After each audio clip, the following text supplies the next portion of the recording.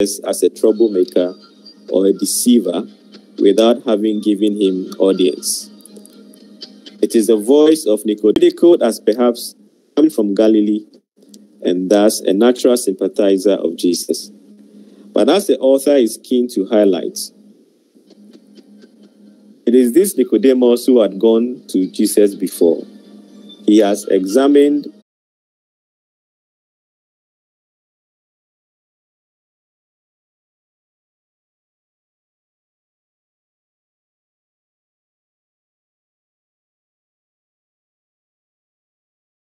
words, the more thorough and comprehensive the investigation, the better. If a person is deceased and archival materials are lodged somewhere, then one would need to intentionally take steps to access them. For then one will be in a better place to evaluate secondary materials as to whether they are illuminating or not. It also helps um, if we are honest, to safeguard against manipulating material, uh, whether consciously or unconsciously, to suit preconceived ends. Uh, you need an open mind. That's something else um, in approaching the subject. Not assuming we've already arrived um, at an understanding of the measure of the person, life, and thought. Careful and thorough research may open up entirely new facts that lead to an entirely new. At the same time, it's important to read around and get a feel of the context and spirit of the age, particularly if somewhat removed from one's own. For otherwise, it would be impossible to judge how these persons fit whether they're the children of their time or innovators or a bit of both, as Smith was. Yet researching biography as an approach to answering a research question means that one should be careful not to lose sight of the main point in the investigation. Rather, it is the exploration of the person's engagement with the issue in question such as in my case, the relationship of primal religion with biblical religion, that helps to define its parameters. It helps one to move beyond generalities, identify the materials that will be most useful in the biography, and focus the detailed study on these materials that are the most relevant for our purposes. A clear idea of what we are looking for helps to tease out the from the haystack, as it were. So far, I've described the task of biographical research in, for exploring a research question that focuses on one person exclusively. Another approach would be to make a comparative study of two or more persons, in which case the task of focusing relevantly for one's research questions will be more acute. For my own work, I did for a time consider comparing Robertson Smith with an early 20th century Old Testament and archaeology scholar, William Foxwell Albright, and even went so far as to visit the archives of the American Philosophical Society in Philadelphia that held some of his papers. But I soon discovered that a comparison would complicate the investigation. And as there was enough material in studying Smith alone, I abandoned the idea of a comparison. Kwame Bediako's theology and identity is a clear example of entering into the lives and concerns of Christian apologists in two centuries and contexts far removed to draw out the analogies exploring different methods of approach to gospel and culture engagement. And in this way, he helped to set the pioneer African theologians clearly in the mainstream of Christian apologetics. So he thus used a highly focused form of biographical research to shed light on and do justice to Africa's modern theologians at a time when Western theologians were making negative comparisons with Western scholars. And in the case of Western evangelical scholars, often branding the African theologians as liberal, simply because they sought to engage with their context. Uh, John Mbiti suffered persecution in this way. Uh, and uh, in fact, Kwame had an interview with him in London. And uh, said, you know, when he shared his insights, Mbiti said Kwame was helping him understand himself, you see, which was quite an affirmation. So, in other words, uh, if you go by what Western scholars say, um, you can end up um, totally up the wrong creek. Louise Pirouet's study of Black evangelists, focusing on the stories of the, evangel- of the Ugandan evangelist who pioneered the advance of Christianity in that country, was one of the first studies to dispel the myth of the prevailing mission narrative that gave undue prominence to the contribution of Western missionaries in the spread of the gospel in Africa. Ini Dorcas Dah, um, closer to home, a graduate of ACI, has accomplished something similar for the women pioneer evangelists among her own people, the Birifor of Burkina Faso, Ghana, and Cote d'Ivoire, through the cameo biographies of significant Birifor women interspersed through her study. So, whether we are studying one or many, there will still need to be extensive background research. Indeed, we shall need to have mastered far more material than will ultimately make its way into the thesis for the purpose of answering the research question. Consider theology and identity again, and the two extensive background chapters that preface each part. Kwame Bediako needed to be fully conversant with the background of each period and of each of the personalities he considered. Getting to grips with the second century context and their writings necessitated a study of materials in the original Greek and Latin, as well as some secondary sources in German. The fact that he would devote only one chapter to each of the apologists in question did not mean he could reduce the amount or depth of background study of either context. For the African theologians, he also needed French to take account of Francophone perspectives and produce a more comprehensive picture. So, in other words, no shortcuts. We should also be aware, in pursuing research on several individuals, of the possibility of dead ends and red herrings. In my case, I eventually realized that a study of Albright alongside Robertson Smith would not prove fruitful. Having spent, maybe wasted some months on that research, but that again is a hazard of PhD and master's study. It was suggested to Kwame Bediako that he consider Athenagoras along with the other church fathers. But after again, after doing some work on him, saw that such a line of investigation was something of a red herring. He didn't really add anything to the picture. I've also touched on the language issue, and this becomes particularly significant for deep African biography. What is the mother tongue output of the personalities we consider? It was one of our own recent alumni, Joel Kupwima's awareness of the substantial body of Kinyarwanda material that Bishop Alois Bigirumwami had produced and uh, Joel's study of that material that ultimately determined in no small measure the shape of the biographical study that constituted the answer to his research question in his MTH dissertation. For it was determinative of the conclusions that he came to as to Bigirumwami's unique contribution to the primal Christian engagement in Rwanda. It also revealed Bigirumwami's pre- prescience as to the genocide that would occur after his death because of his unease that the Christian faith was not sufficiently rooted in the culture.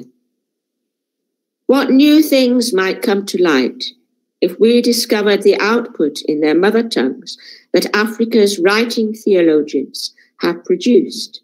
Uh, Kwame Bediako has sermons in the mother tongue that uh, Reverend Michael Bosman is investigating along with his English sermons.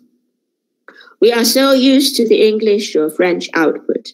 Have we considered uh, that people might have preached and taught in their mother tongue? Even if it's not written down, there may be uh, audio or vi- video recordings. It would be the task of researchers conversant in those mother tongues to find out if that was the case. Of course, the language factor becomes even more significant when considering the biographies of grassroots theologians. Biographical biography as an approach to a research question will invariably require the study of significant bodies of primary materials, as I hope I've shown up to now, whether in archives or field research. My experience does not include field research, so I shall confine myself to the task of archival study, uh, though aspects of what I shall mention here may well apply. Uh, of course, we had uh, Dr. Maureen's excellent study yesterday on archives too. Uh, which shows archives are a highly valuable source of primary material for yielding fresh biographical information and new insights. Therefore, one should approach such material without too rigid an opinion as to what to expect. An open mind is needed so that information and perspectives already gleaned from secondary sources can be corrected if necessary from the primary materials. Intuitions we may have about our person under study may also be confirmed or uh, refuted when we go to the archives. Official reports and published biographies have a way of glossing over conflicts, crises, or blemished behavior that readily appear in first hand material, uh, such as correspondent, personal correspondence, reports, and diaries, and so on, especially when these are not likely to have been written with publication in mind. Such sources are a vital way of getting past hidden prejudices, uh, received assumptions, or imposed structures in the life of a person. They may also prove to be a source of highly pertinent quotations, which are capable of making a point in a more succinct or vivid way than a lengthy argument. As well as an open mind, we also need the mind of a detective, looking for clues to solve a puzzle or a mystery, given that no one's life is a completely open book or to confirm or refute an intuition we may have. We shall need to be constantly weighing or sifting evidence coming to light through the archival records. Take note of what at first sight, incidental details. I've already given one illustration of this from Robertson Smith's sermons. If I had not spotted and taken the trouble to note down his recording of the dates and places where he preached them, I would have misled, I would have missed the vital evidence that helped me to reach the conclusions that rounded off my thesis. Often, archival research, as we have said on earlier days, is laborious, it could be tedious, it may at, per- at first sight not appear to be yielding much information. So perseverance is essential for ploughing through the haystack to discover the needle, or digging in a field to unearth the treasure, that eureka moment that was spoken about yesterday. Uh, Smith's sermons did that for me. Um, and uh, it is it is a revelation. It is a it is a treasure. Archival material is different from a book in that it is not structured or organized into a coherent overall picture. It is therefore immensely helpful in approaching archival material if we are already clear as to the research sub questions, which can serve as the filter for sifting through the mass of material. In my case, I was also looking for evidences of a Christendom perspective or departures from it, evidence of European views of other peoples, especially those identified as primitive, perspectives on primal religion in the Old Testament. Wherever and however these appeared, I would pay special attention to that material and make notes on it for further use. It's our task to interpret the archival material studied, to work out an overall structure and bring out its intrinsic significance in connection with the evidence already in hand in relation to our uh, research question. And I, I do expect that this attention to sub questions applies to the questionnaires one devises for field research and to the classification of data elicited. So, what are the outcomes we should expect from biographical research for answering our research questions? First, we should be prepared for surprises. No life can be pigeonholed into one compartment or another, given that each is a unique creation of the living God, and conversely, all labels are in some sense artificial constructs waiting to be challenged. Researching biography is ideal for such a purpose. Further, biographical research is well positioned to reveal our common humanity around the world and down the ages in parallel responses to situations, questions, challenges. This was what Kwame Bediako discovered when he realized the viability of drawing an analog between the work of the apologists of the second century Hellenistic world and that of the 20th century pioneer African theologians, while not neglecting the distinctly era bound particularities. Robertson Smith was asking the kinds of gospel and culture engagement questions that we are asking in our time, but he was handicapped by the prevailing currents of thought in European intellectual and Christian circles. Biographical research done well should reveal both sides of the coin. And at a time when the language of scholarship appears to be getting increasingly dense and abstruse, another outcome will be research conclusions that move away from abstraction and dry debate.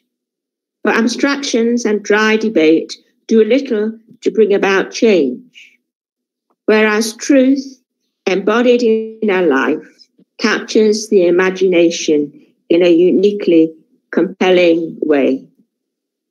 The other day, I discovered um, a rather apt quote from Eugene Peterson in his book, The Jesus Way A Conversation in Following Jesus. He says, impersonal, storyless talk and writing is a blight on the world of discourse.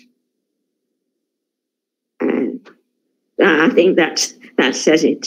Um, indeed, story and incarnation have been the divinely chosen means whereby God has revealed himself in salvation history, supremely in Jesus Christ, and also subsequently through the lives of Jesus' devoted disciples through the ages. And it's interesting that our devotions each morning have somehow captured that truth. Incarnation is revelation. So to conclude, story is at the heart of the human creation, with a narrative of fall and redemption and future hope played out in human lives. The living God is the author and redeemer, and the scriptures give us the divinely inspired narrative of salvation history gospel message through which we believe and are saved. A biographical approach in research as a search for truth is ideally suited to keying into aspects of this ongoing story that may now be told for the edification of the church, the mission of the church, and the advancement in the advancement of the kingdom of God towards the consummation of that story at the end of the age. Thank you very much.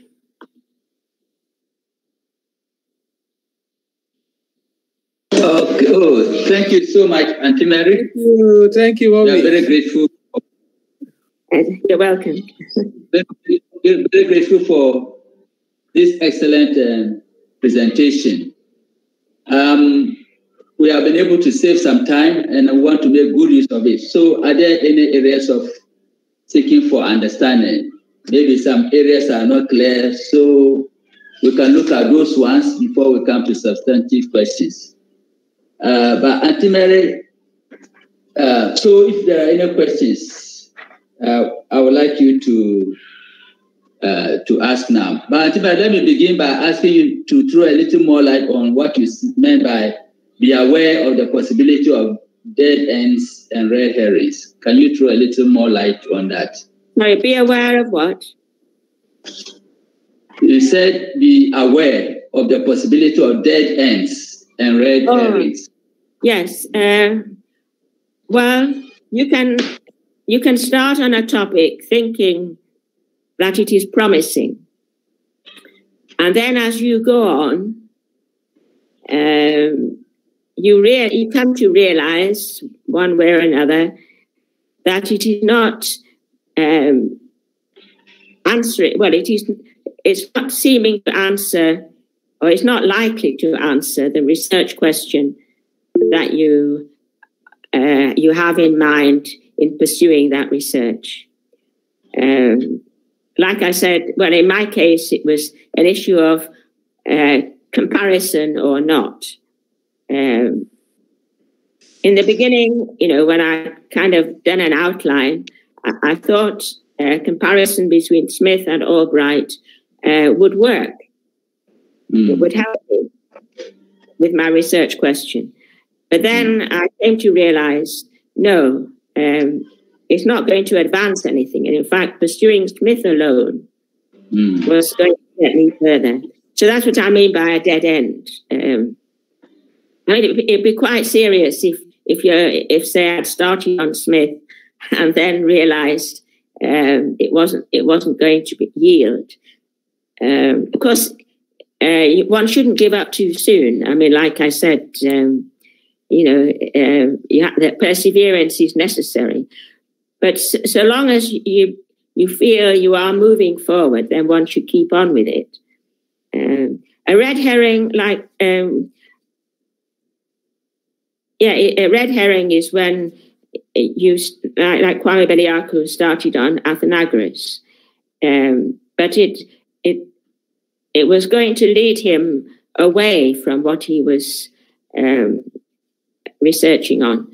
So that's why he stopped that. It, it wasn't, um, it was a red herring is when you deviate from your intended path, something leads you off the track. Thank you so much, uh, so please, um, if there are any questions for clarification before we move on to uh, yes. Who is speaking? Um, Kinsa Edward. Your hand. Edward, then uh, I've seen uh, Dr. Blasu. Edward, are you there? I've seen your hand. Are you there? Yes, please. Let's hear you. Yes. Good morning, sir. Morning. Yes. Um, I, am so grateful to God that I listened to um, our mommy this morning because I have a copy of a book right on my desk on my table here. And when I read it, it, it, it looks very difficult for me to digest. But throwing light on um, how he, she came about the topic and some of the highlight highlights that she has given has given me a more understanding of what the book is all about. So I'm just bringing this out, and I think I'm I'm fine. I'm fine. I'm really really grateful for what you have have heard this morning. Thank you very much. You're welcome. Thank, thank you, Edward. Um, Dr. Blasu.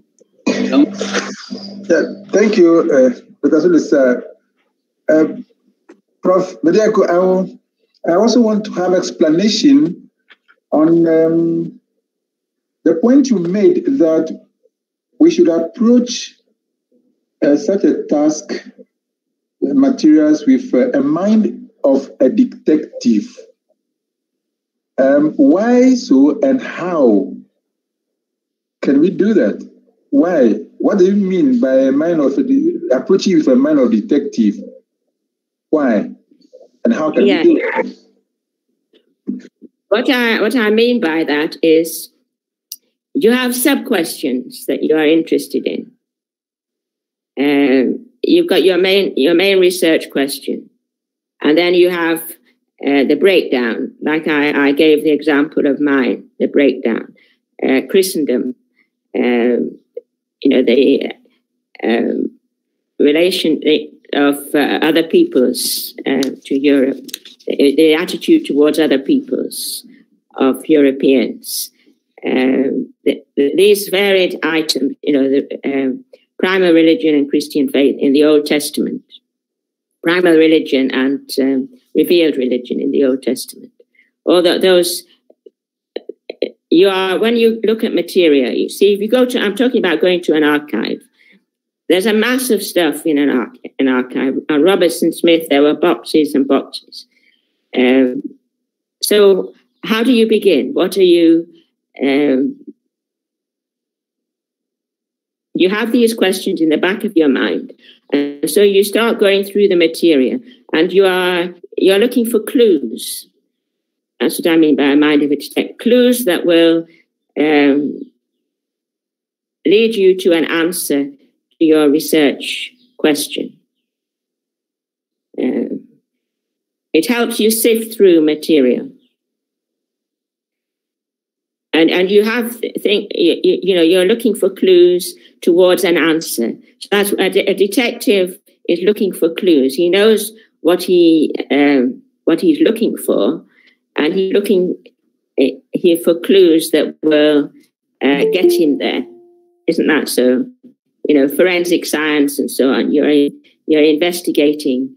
You're searching for clues that will uh, find the murderer or whatever. That will point you in the right direction. So, uh, so that's what I mean by a mind of a detective. In other words, you don't already have a preconceived idea uh, of of um, you know you, you know what you you hope to find, but your mind is sufficiently open to being uh, disproved. You know your your hypothesis being disproved, uh, and a detective has an open mind. He ought to. Uh, he's not trying to prove somebody. Uh, he's trying to find the guilty party He's not necessarily saying, I think that person's guilty and I'm going to look for the evidence that shows it, when in fact there's evidence pointing the other way. You see? So the mind of a detective uh, and an open mind means that you are uh, you, you have a clear idea of where, what you're looking for, uh, well, of, of, uh, of where you want to go, and you're looking for the, the pointers on the way. Does that does that help? Sure, Prof. That was helpful. I think I get it clearer now. Thank you very much. Okay. Thank you so much. Any other interventions, any questions for clarification? or we come to the substantive matters. And I think Auntie Mary put it well, saying that be open for surprises. So, so be open for surprises. Uh, any questions, please? Uh, okay, um, Jonas, I saw your hand. Jonas.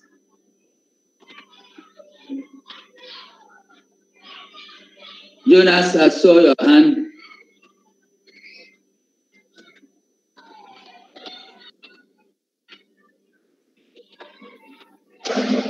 Prof. Lai's hand is also up. Yes, uh, I, I, didn't, I, I can't see his. Uh, okay, Jonas, if you are not ready, I will give the chance to Professor Lai. Yeah, uh, th- thank you very much, um, uh, Dr. Sulisa. And thank you very much, uh, Aunt Mary. Mine, mine is uh, moving on straight to um, uh, comments and uh, matters of substance. I don't really have uh, questions of clarification. But uh, just to uh, thank Aunt Mary for opening my eyes to uh, the connection between biographical study and then resolving a key research a key research question. But when I saw the topic, I was wondering the direction it was going to head towards. But um, uh, listening to Aunt Mary, um, I think I'm beginning to understand my own research journey. I mean, I also happen to work on um, yeah. biographical research. And yeah. it was so helpful, I mean, listening to Aunt Mary. And um, um, it has helped me to understand um, something that she said from the beginning, particularly uh, the whole question of blood sacrifice, uh, because I picked on some ideas from Ephraim Amu whilst researching on him that I quite didn't understand. Uh, he seemed to have rejected um, uh, the passage or the interpretation, the popular interpretation of the passage, uh, without the shedding of blood, there's no remission of sin. Somebody interpreted this to say that is why Jesus Christ shed his blood, you know, for the redemption of sin. And he rejected the interpretation. And I was wondering where it was coming from uh, until I read uh, Alex uh, Fraser, uh, the principal at the time at, at Modern School where Ephraim Amu worked. So he may have picked some of the theories uh, or the whole idea of this ransom theory. Yeah. And uh, and so I agree. I agree with you that um, uh, biographical research uh, helps us to focus. For the points you made, it helps us to focus. It helps us to avoid um, uh, going on, uh, if you like, a wild goose chase. You know, avoiding all the extremes, uh, extremities, and all that. And I, I wish that our students consider this because they are quite, particularly in the African context you have talked about um, Robertson Smith. But in our own African context, uh, uh, there are quite a lot of people who are, uh, as you rightly said, embodying truth in themselves. They embody the contradictions, the aspirations, and all that. And maybe in them, we will be answering our own questions. So, so thank you very much. And I hope that uh, this paper is is made available, uh, is published, so we can still continue yeah. to make use of it. I, I was thinking, uh, I mean, it's almost ready for pu- publication. Um, I was thinking of putting it in the upcoming issue of JACT, uh, which is navigating non-Western research methods. And uh, let, let, me take this opportunity uh, to remind uh, faculty and interested students that um, there is a call for papers out for the June issue of JACT. We, ha- we haven't filled all the slots yet, so uh, if, if, somebody has something to contribute, really that's by the by. Thank you very much. Professor uh, Lai, thank you so much for your intervention. Uh, as um, Jonas, do you still want to say, uh, is your hand still up? Yes, yes, sir. Can, you, can you hear me now? Yes, okay. Yes, go ahead. Mom, Mama, thank you very much for uh, helping me to understand my own journey. Um, it is very refreshing, and as a matter of fact, it takes a lot of uh, things that I did not understand before. Um, my query is with regard to the mindset with which um, you deal with all these um, um, biographies and seeking of evidence.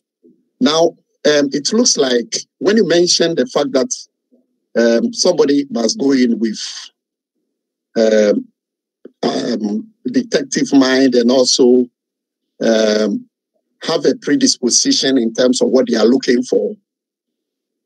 when that is left without boundaries, it has the potential to cause the person to uh, wonder about, as you rightly said, and also um, being influenced by their own predisposition, in which case they may not get the objective view. So I was wondering if there are there is a way of setting the boundaries so that when you are looking, irrespective of what you are expecting and uh, suspicions you have, and um, how, how do you set boundaries so that um, you remain within your research constraints, if I'm making myself clear. Um, I'm not too clear, but I mean, the, the, the nature of the topic you are working on, in a sense, sets its own boundaries. And it will vary for each person according to what they're working on. Um, you know, you, you have your topic, you have your research question defined. And then within that, as, as you begin to explore, you discover the sub research questions that emerge. I mean, I, at the beginning, I didn't have any, uh, although I had my key research question, I didn't have the sub questions. I had no clue about Christendom or um, the European observation of other peoples. Um, I, I, didn't even think of the Old Testament in terms of um, a primal substructure, anything of that nature. Th- those sub questions emerged as I began to read. as I began, I began to see that they were significant for um, the exploration, for understanding Robertson Smith in relation to my research question. So, so that's what I mean. You know, as you as you go on, um, the sub questions they're that they're what set the, the bounds, but there you don't have those necessarily in the beginning. Um, I mean, you see, for me, Smith was an evangelical right? Even though his church eventually branded him as a heretic. The, the Free Church of Scotland was the evangelical wing of the Church of Scotland. Um, and uh, he was the professor in the Free Church College. Uh, his father was an eminent evangelical minister. Um, and he came to his own conviction, which we, he bears testimony to. So he's an evangelical. Um, he's not a liberal. So what takes him down this road of exploring issues that for the church are off bounds? Um, I mean, uh, you know, when the, he wrote an article on um, Semitic religion for the Encyclopedia Britannica, uh, this is primitive religion, and it was discussed by the church, uh, General Assembly, uh, one of the committees of the church investigating him. And it was such a shocking thing for them that this meeting was held in camera. Um, you know, so why? I mean, why? What takes him down that road of um, polarity with his church? And yet he's concerned for the church. He never leaves the church. He preaches right through his career. Um, and as I said, I discovered the evidence that his later sermons were as evangelical as his earlier ones.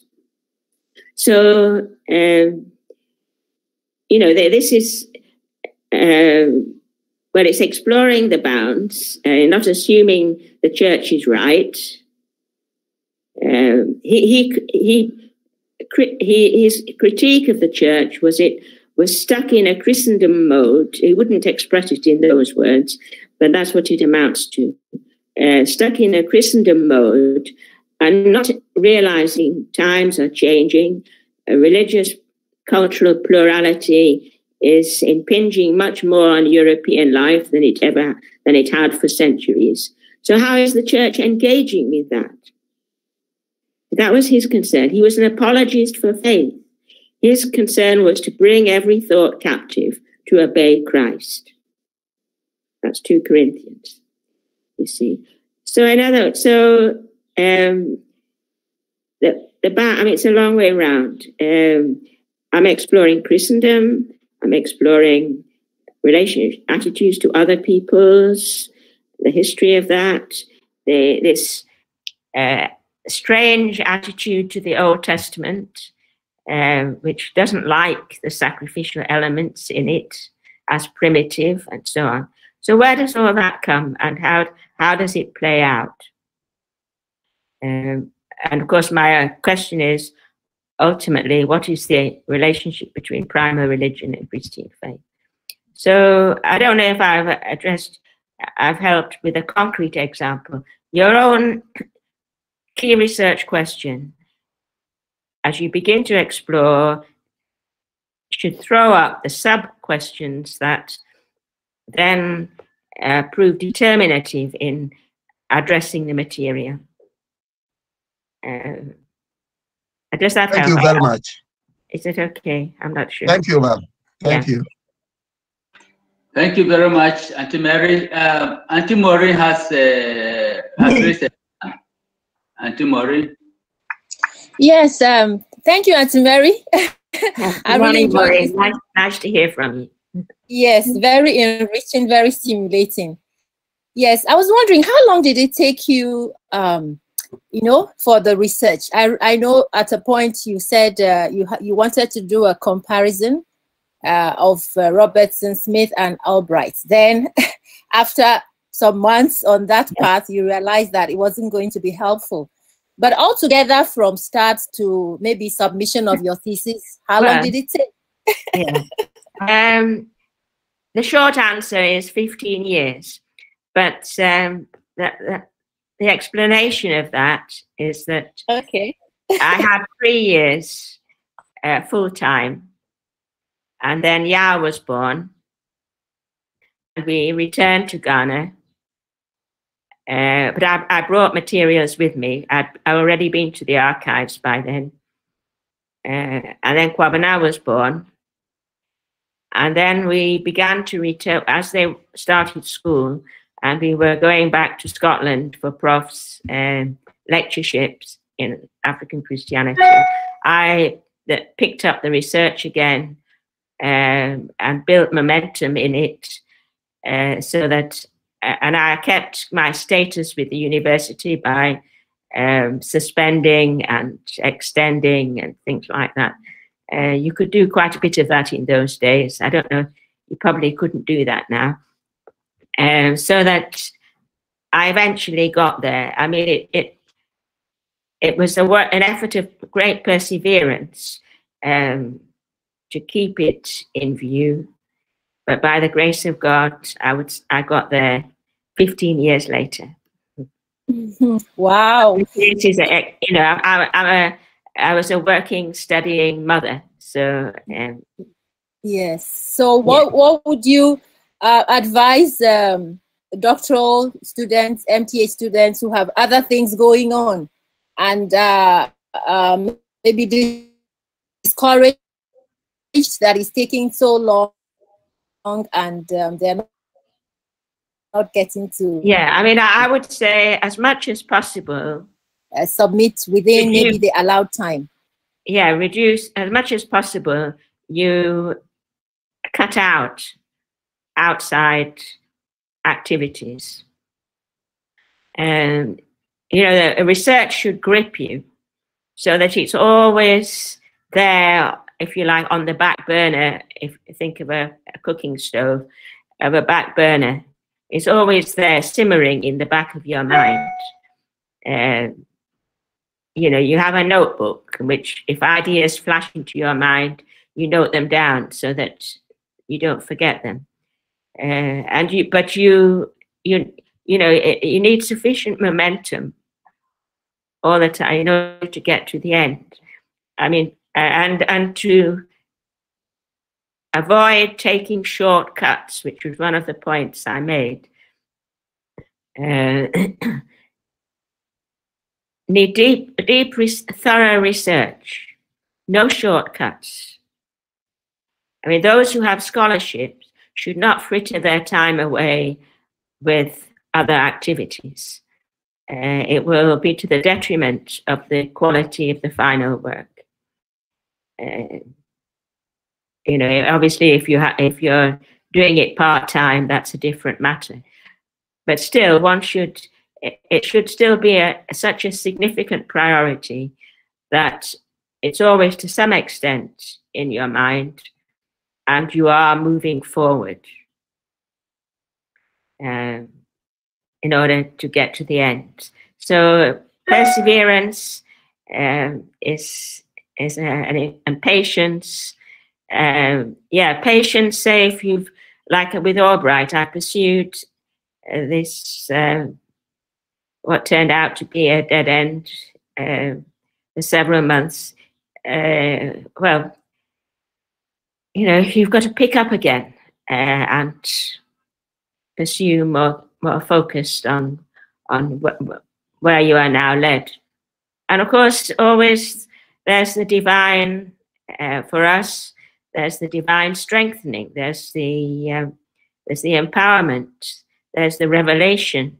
Um, I think finally, my uh, key research question focus um, came in, the final, you know, the final um, uh, focusing of it that made that was the thesis came through inspiration. It didn't wasn't by you know all the logical working out that I'd done with the outlines and so on. That had contributed, but they it was a flash of insight that uh, finally determined the topic.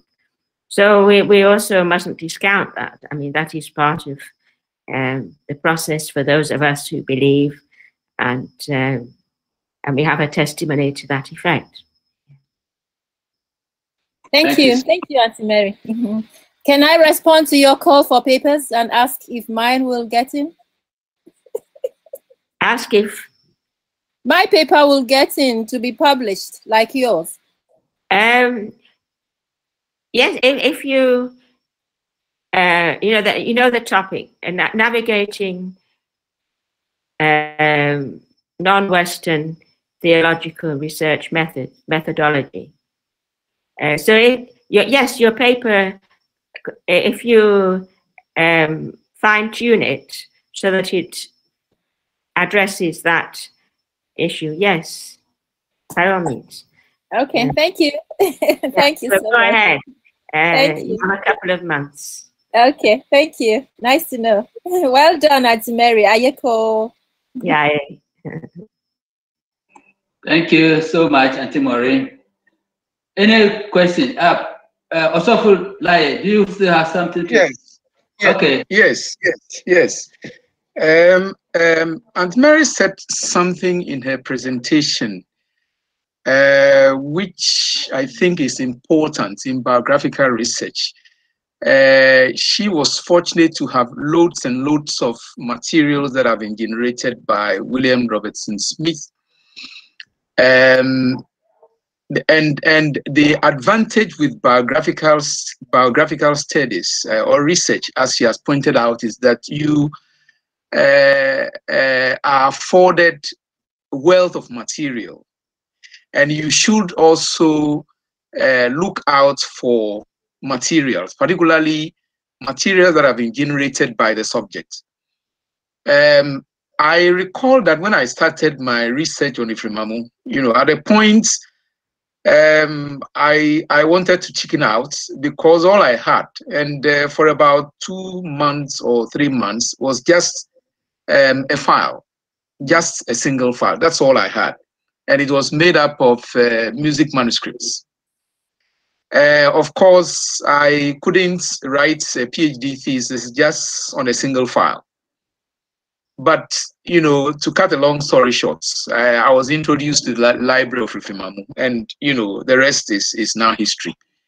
The, the, the problem, uh, and Mary, um, um, with with generation of materials and resources, particularly if you want to work on uh, biographies within the African context, uh, where record keeping is a problem.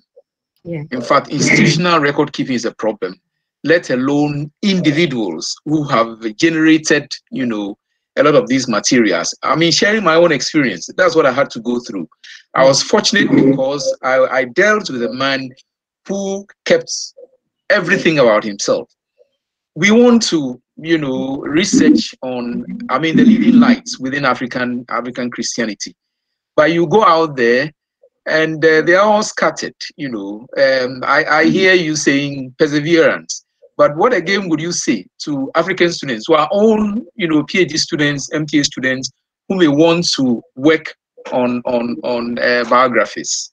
Uh, kind of encouragement to them since within our context, these things don't come easy, as I've said. Yeah. Well, yes, I mean, it, it is a different scenario from from what I, I studied uh, from Robertson Smith when the, there was already a mass of material, although it wasn't all systematized. I mean, uh, you've got to search through the archives. Uh, I mean, it, it, depends on whether the person is alive or dead, doesn't it? Um, if um, or how close, even if they are dead, if they are recently passed on. Um, presumably, there are those who remember.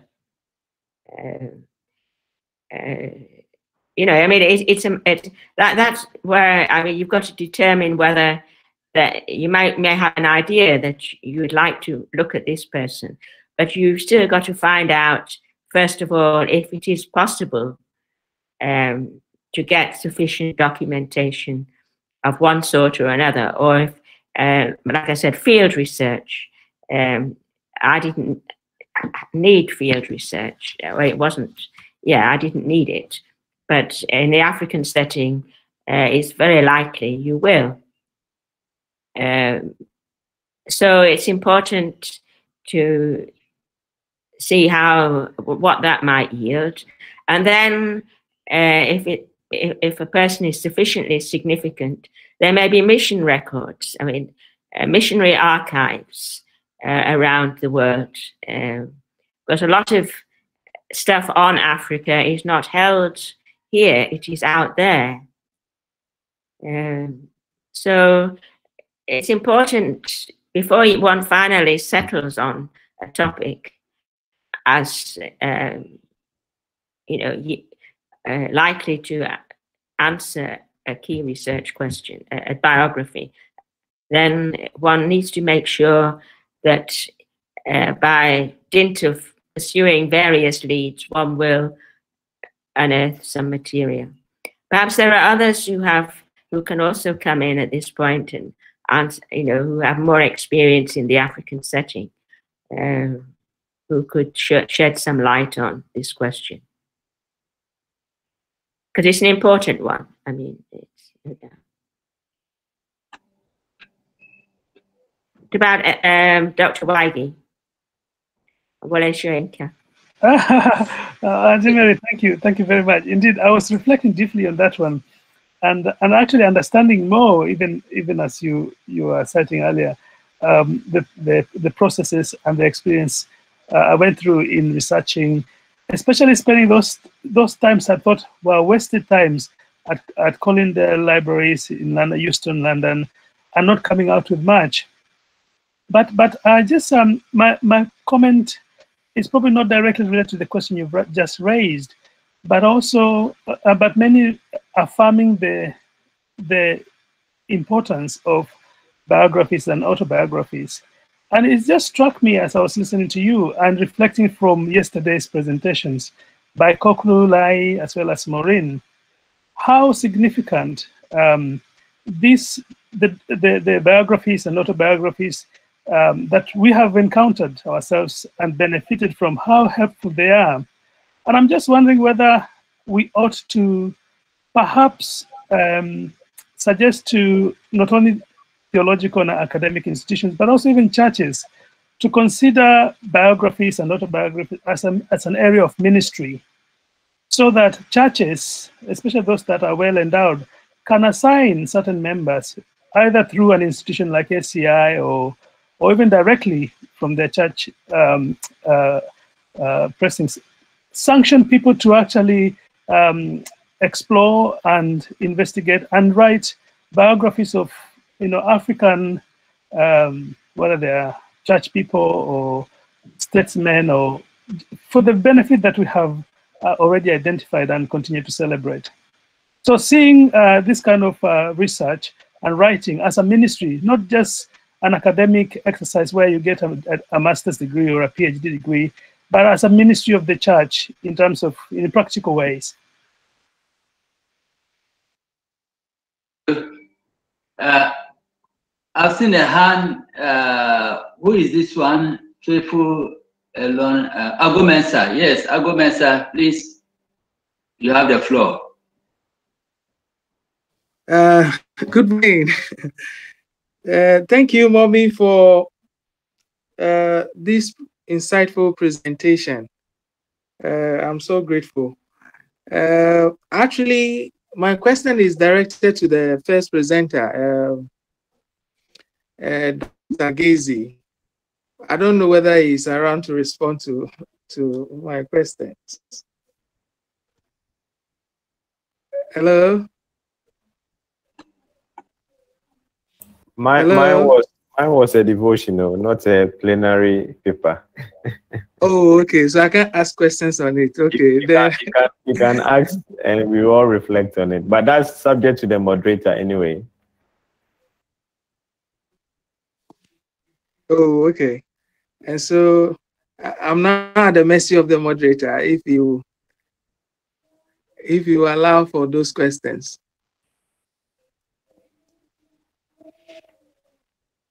Hello. well, I, I, I guess I guess we should give room to those who have questions on the plenary presentation first, if there are there are others. Uh, okay.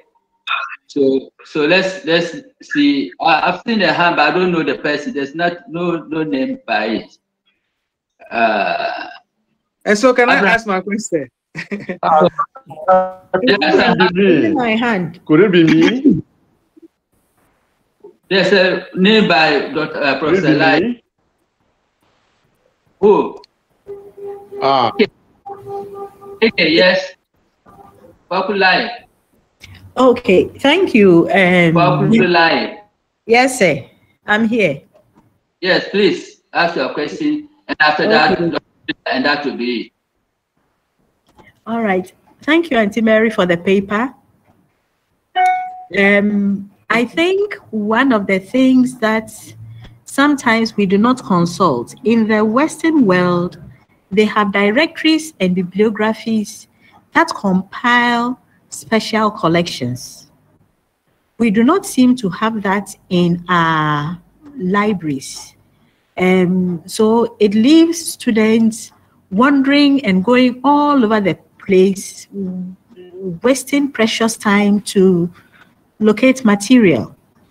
And I hope that with time um, institutions, all our institutions that are represented on this platform will make it a point to um, at least put together documentation on their holdings so that it helps um, you know students. We can even do that at individual levels. If you know somebody who is versed in a particular field then we can follow up put down the person's name it involves a lot of networking and informal discussion but without that we can't go anywhere so formally the institutions should ensure that they document what they have, and then individuals too should be willing to network and give information to others in their fields. That is my little submission. Thank you. Thank you, Kokli. Uh, it's it's an important area, and, and I endorse your your recommendation. Uh, and I remember when you were at ACI, uh, we had a few issues of JACT where there were bibliographies like in gospel and culture and so on. Um, it, it Thank you. Thank you. The last, uh, but can I, just, can I just pick up on that um, uh, in relation to my own experience? You see, uh, my, my work, uh, I was exploring, in a sense, a pioneer area. I mean, only uh, Harold Turner had uh, he got together materials um, and written a few seminar articles and, and books and so on. But there wasn't really uh, much else in terms of the field I was exploring because it was an interdisciplinary. I was bringing together uh, Old Testament, European, um, cultural history, Christian history, and so on. And so I had to build my own bibliographies. Um, uh, that's how I started out. That's one of the first stages of um, exploring the field. Uh, we we we we need we will because each subject that we are pursuing, each key research question, in some sense, is unique. We have to build our own bibliographies. So that, I, I began, you know, um, you you have you find one book, uh, article or whatever, which is of key interest to you. You look at the bibliography, and you see what's in there that you could also explore. And so you make a list of these things. Uh, you know, you, you, so you build biographical, biblio, bibliographical lists uh, again, according to the sub questions, like I had one on primal religion, I had one on Christendom, I had one on primal religion and Old Testament, and so on. Uh, the, I, one wouldn't have found a bibliography on those particular topics anywhere. So um, even though I agree, you know, one should um, one should be providing some of the basic bibliographies in particularly in, in our in our fields, um, gospel and culture, primal Christian spirituality, Christian history and mission history, and so on. Our key subject. Well, we, we already have a basic biography, uh, bibliography for our, our courses, but beyond that, uh, going into more detail, one could do more. But uh, it's still for a PhD student in particular, uh, and MTH on a lesser level, you do need to build your own bibliography according, again, the bounds set by the key research question and the sub questions that emerge. So uh, that's my response. So I, it's an important point you've raised. Yes, thank you. Thank you very much. We'll take the last one and then we'll go for break. like yeah. Yes, Dr. Miller. Can I go on? Yes, please. Yes, uh, I'm, I'm really uh, qu quite fascinated and um, have learned a lot uh, from what uh, Auntie Mary has put forward. Now, the issue I have, I noticed the whole question of making sure that you don't go into this um, biographical uh, research with uh, preconceived um, ideas. This is very, very important. I I always have had the feeling that uh, when uh, some people go for this, they go to prove a point or dis disprove a point uh, uh, or mere curiosity and whatever. But the outline as given by Auntie Mary, I think it's something that um, I have learned a lot. I'm sure others also have done. My own thinking is this. Since Auntie Mary has done this, and uh, Laye has done this. I know that there is this proposal of uh, coming out with a publication on, on this paper, but is it possible to provide a guideline, a guideline that will help students of ACI who want to who will want to embark this to be clear about the go areas, no go areas, the whole question of objectivity, so that they do not just go there to prove a point or disapprove a point. Is that possible to do that? Yes, Auntie Mary. yeah. Am I? yes, you are clear. Mm. Auntie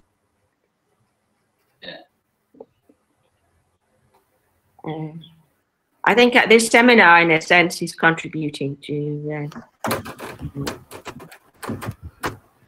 uh, Allison, you know, Prof. Howell. Uh, yes, uh, uh, if I could just respond to uh, yes, um, Dr. Mbila's uh, uh, request. In the research methods seminars, um, particularly the segment on gospel and culture, but also in the historical section, we have an entire segment on the issue of objectivity. Um, and that has been repeated year after year after year in our teaching in the research method seminars. So sometimes it's a very deep frustration to me when I see students presenting at their topic presentation uh, sessions and then in their first proposals, um, a work which in, clearly uh, indicates that they already have a bias in their research um, and that they are trying to prove a point. Because in the research methods seminars, we we actually have a whole segment of one thing discussing the issue of bias and objectivity. So it is raised within the, you know, the research methods seminars at ACI. Thank you, Professor Allison, for the intervention. I think our time is up. So, Auntie Mary, if you want, we want to say something before we, we say goodbye. No, I think I've said my piece. Thank you. okay. Okay, so we'll go for a break now. We'll come back at 11.15. So let's go for a break now. Come back at 11.15. Auntie Mary, thank you so much. Thank you so much. You're welcome. You're welcome.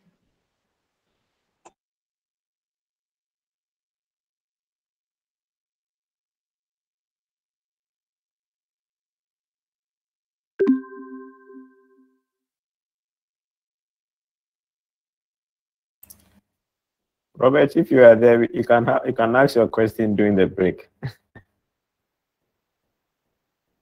Hey, ancestor, you only you you you work you work in between. Prof, like this this morning has been a real stretch. I tell you. you know, uh, we are currently invigilating the two students. Yes, Abraham. Oh, are you intertestamental prophet? Yeah, yeah, he is. I tell you. I tell you, he works he works in between the testaments. Yeah, So one he only those takes he only takes questions. But you, you you might you might be usurping John the Baptist. yeah, Okay. I'm enjoying. Good morning, Dr. Wagi. Oh, good morning. Good morning, uh, uh, uh, brother Oluwodare. Yeah.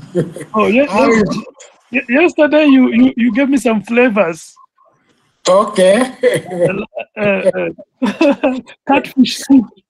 Thank, thank you for your questions. thank you. Thank you for the presentation. Yes, sir. Thank you. Uh, Yeah. but, but Rudolph, Rudolph, oh, you. The question is for you. Oh. Which one? I think you had the floor with your with your enquirer. Yeah, I think I think he went on break. Oh, I, I thought he was still on. Mm, Okay. I wondered what question he, he was going to ask. I didn't intend to receive answer questions from the devotion. Hey, Rudolph, well done. Oh, well done. Rudolph. Oh, thank you. Thank you. You should have told him to come and see you Nicodemously. Thanks for the position. Yes, right there. Dr. Maureen, are, are you are you still in Enugu? so much. Ah, it's, it's good you experience the glitches yourself. yes, I'm in Enugu. Who's that, please?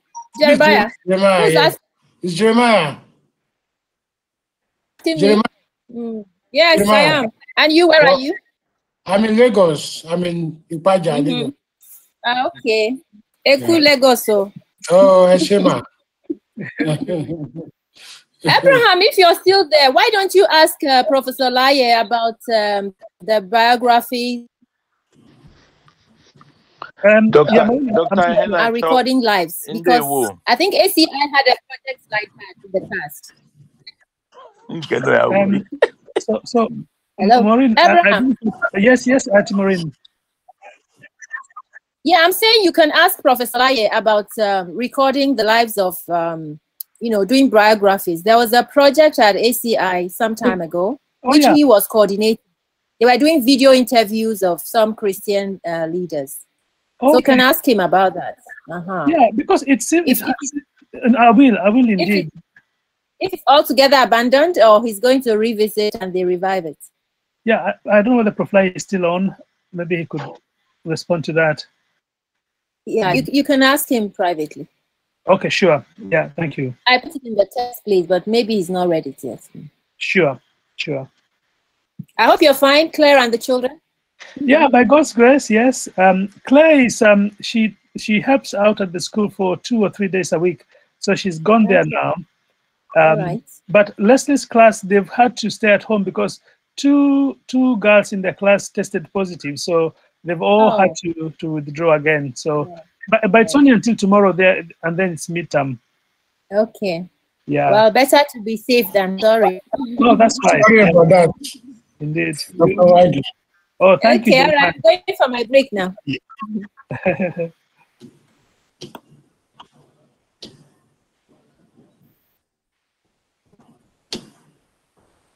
Good morning, Dr. Anna Morin. she has gone for her break. Hello, who Oh, is yeah. that calling Oh, me back? Sorry. Kedu, Kedu. Is that Dr. Kedu- Blasu? No, it's Henry Obley. Uh, Henry, greetings do I know you? people. Greetings to Enugu people. Because you They mentioned receive them or they receive them and send back to you. because you mentioned Enugu, I said Ndewo. Ndewo, although Ndewo is not a Enugu language. Oh, is it is it uh, uh Owerri Yeah, it's Owerri, or yes. Onitsha? Not Onitsha. Kedu, Kedu. Yeah, Oh. fine, that's better. Yes, Odimba. All Due right. to Omar. okay. So Jeremiah, Yes, sir. uh, are you a Yana Ipaja or which one? Yeah. I'm Paja. Wow, you. Ipaja. Oh, but Yeah, you see- Ipaja is um, the express road, but Yeah, Ipaja yeah. is town. Give yeah, yeah. So, so uh, Yeah. you see, uh, Jeremiah, when you start mentioning these places, eh, Yes. I can taste the flavors in my mouth because those are the places we stopped, and then Victoria Island for some special, tantalizing uh, Nigerian delicacies. So I can, Wow. I can Wow. taste them. Wow. You, in fact, the way you pronounce them shows that uh, you have been there and you have drank, you have drank from the water of the soil. Absolutely.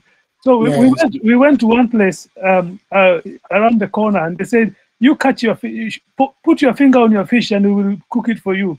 The fish, Oh, was, okay, the fish was, it was still alive in the drum. Yes. yeah, that's catfish. Catfish, yes. Yes. They are so numerous Yeah, So many people doing um, artificial uh, growing of uh, um, catfish. That's uh, right. It's so it's so abundant here in uh, in Lagos. That's right. You know, it, it, it was it so happened during a time when I was reading um, the trials of Brother Jero. Okay. And th- that scene where where um, the uh, the apprentice is talking about um, Chume, is talking about playing trumpet trumpet with indigenous tunes. Okay. But the captain, this is Salvation Army, the captain wanted him to play pure notes. Okay. So he says to the captain, ah, now you want me to play San San tunes.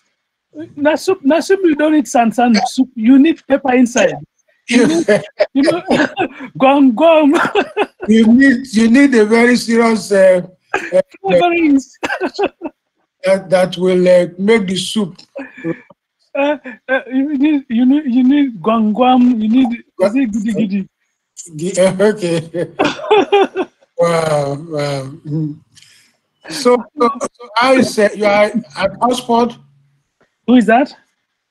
I said Jeremiah. You said you are at Oxford. No, no, we're still in Liverpool. Liverpool, okay, Liverpool. For me, I, I was I was taken aback because for him he's a Yoruba and of course a professor. Um, so I was like, I, and I began to see the value of ACI. You know, where we have put everything, uh, all of the uh, spiritual world and the physical world all together in our learning. And um, so uh, it's something that I would, like, I would like us to explore. Yeah. Can, can I just show you? Um, just uh, last week, I, I, I, this book came. Um, okay. Can you see it?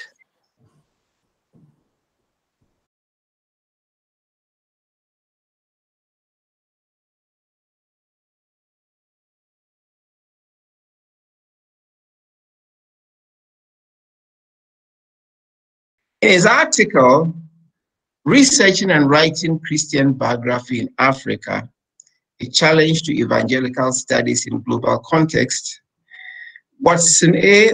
Omulokoli laments the general lack of biographies of Christians in Africa. Such biographies he contends would be of great help to contemporary African Christians. Said he, much benefit would accrue to us as a result of interacting with the lives, activities, and overall operations of such people. The example of their lives can readily serve as useful models for us in our own Christian pilgrimage. The recurring lessons which the total picture presents can provide a lasting challenge and an inspiration to all who come across their biographies.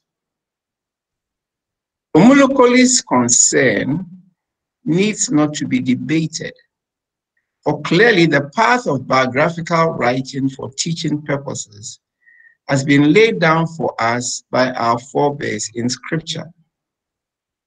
Beginning in the book of beginnings, that is Genesis, in which biography is used to present the story of Abraham, the proto-man of faith, together with his progeny, Isaac and Jacob, several instances are presented in which the biographical journal is used as a tool to teach positive and negative lessons to people of faith. The books of Samuel, Kings, and Chronicles are clear examples of this method of education. So First Chronicles chapter 10, verses 13 and 14 will summarize the life of Saul as follows. And there's a quote. Saul died because he was unfaithful to the Lord. He did not keep the word of the Lord and even consulted a medium for guidance. And he did not inquire of the Lord. So the Lord put him to death and turned the kingdom over to David, son of Jesse, unquote. And Jehoshaphat's life would be summarized as follows. There's a quote. Jehoshaphat was 35 years old when he became king, and he reigned in Jerusalem 25 years. In everything, he followed the ways of his father Asa and did not stray from them. He did what was right in the eyes of the Lord. The high places, however, were not removed, and the people continued to offer sacrifices and burn incense there. Jehoshaphat was also at peace with the king of Israel. He rid the land of the rest of the male shrine prostitutes who remained there even after the reign of his father Asa. Then Jehoshaphat rested with his ancestors and was buried with them in the city of David, his father. You can see this from 1 Kings chapter 22 and verses 41 to 50. Now, similarly in the New Testament, the Gospels and the book of Acts contain the stories of Peter and Paul, through which we see their trajectory of faith and that of the early Christian community. Clearly, these accounts are not formal biographies in the way in which we know the general. They are selections of incidents in the lives of the persons presented, such that lessons may be learned from them. A good biography from a Christian perspective, then, should be purposeful.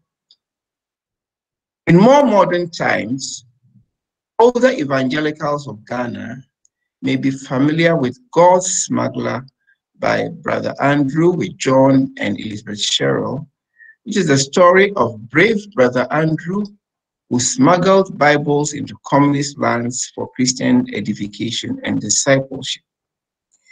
They may also be familiar with Corrie ten Boom's biography, The Hiding Place, which is a story of a Dutch family who hid Jews from the Nazis during World War II and their own experiences in a labor camp when they were found out.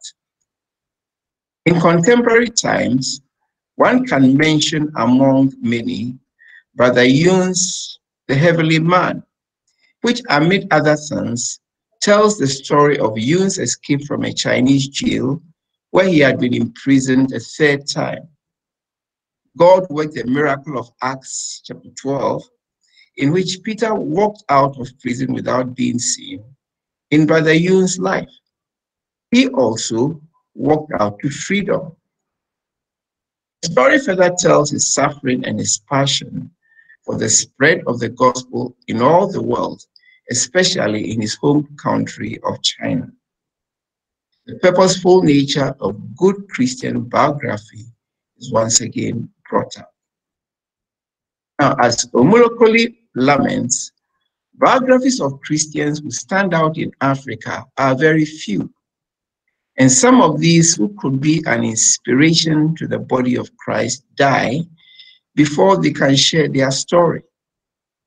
The challenge thus goes out to contemporary Christian scholars to take up the challenge of writing Christian biographies for purposeful Christian ministry in its own right or as part of a larger work such as a dissertation or a thesis. How does one begin, one may ask? The answer, as characterizes all scholarly historical activity, one has to think about sources for research. For clearly, the task is not imaginative. It is not fictional writing. Before we consider the issue of sources, we need to mention that we will use as foundation the research and writing we engaged in as part of our thesis. The title is there, The Role of Indigenous Lay Agents in the Expansion of Methodism in the Gold Coast before 1950, with special reference to catechists and quote. Now, whilst researching into one aspect of the role of indigenous lay agents in the expansion of Methodism in the Gold Coast, I had to tell the story of the prophet Samson of Oppong. So I will use the research activity I engaged in as background to the principles one needs to apply in researching and writing biographies, especially as it relates to a research problem. This paper, thus, will focus on the use of resources as well as the issue of interpretation in Christian biographical writing. Have tried to be as detailed as possible to help the beginner in research appreciate the challenges and experiences that one may go through in the process. So sources. Sources can generally be characterized into written and oral. Written sources may further be subdivided into primary and secondary, where primary means documents that have survived the period in which the history occurs. Authentic biography from written sources can only be composed when these are primary or as close as possible to the events being described. The same may generally be said for historical writing. Secondary sources, on the other hand, may be described as documents which are based on primary research and sources. Most researchers would find that some others have tried to plot the path they are about to take in some way, even though possibly not the very same trajectory. A good literature review thus helps the biographer become familiar with the territory related to the subject of his research. They may even find that others have written on some aspects of the person they are focusing on. Consequently, they are able to focus better on what apparently remains to be done and or correct misconceptions through the current research. Mary has told us a story. Now, oral sources, contrary-wise, have been severely debated as to their authenticity. In the absence of sufficient written sources, they may be used when the necessary precautions are observed, or they may be problematic.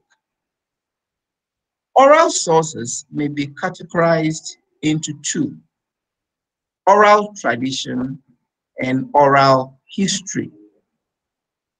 Oral tradition, and I'm quoting, is usually defined as the recollections of the past transmitted and recounted that arise naturally within and from the dynamics of culture, unquote.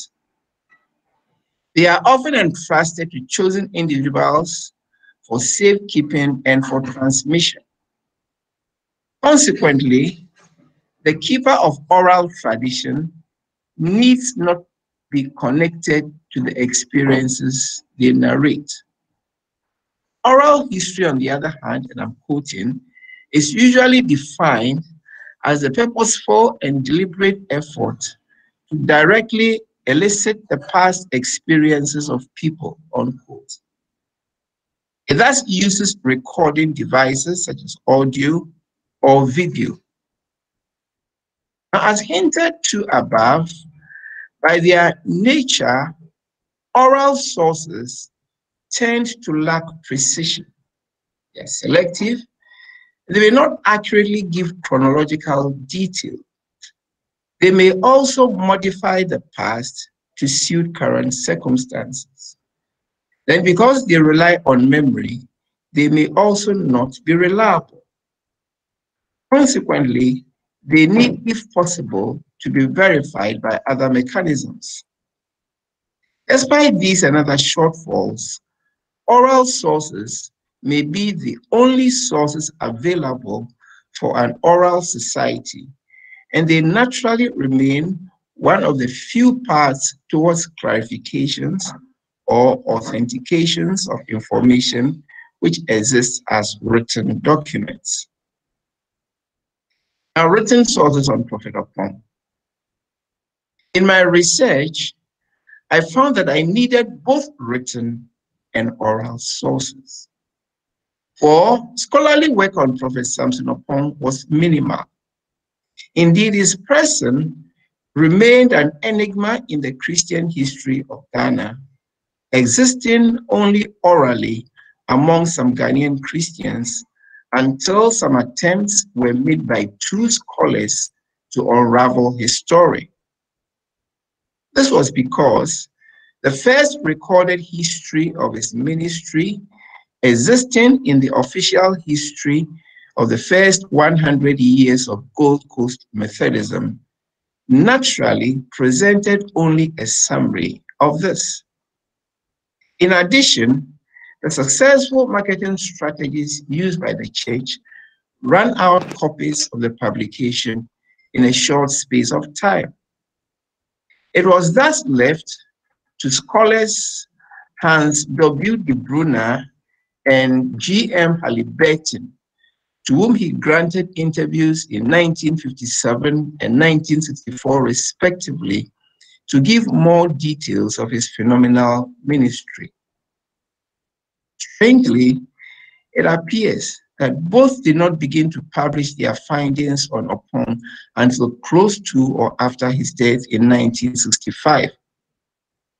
One can surmise that Debrunner delayed his writing and publication till 1963 and 1965 respectively because he did not believe Oppong was a man of God to be emulated.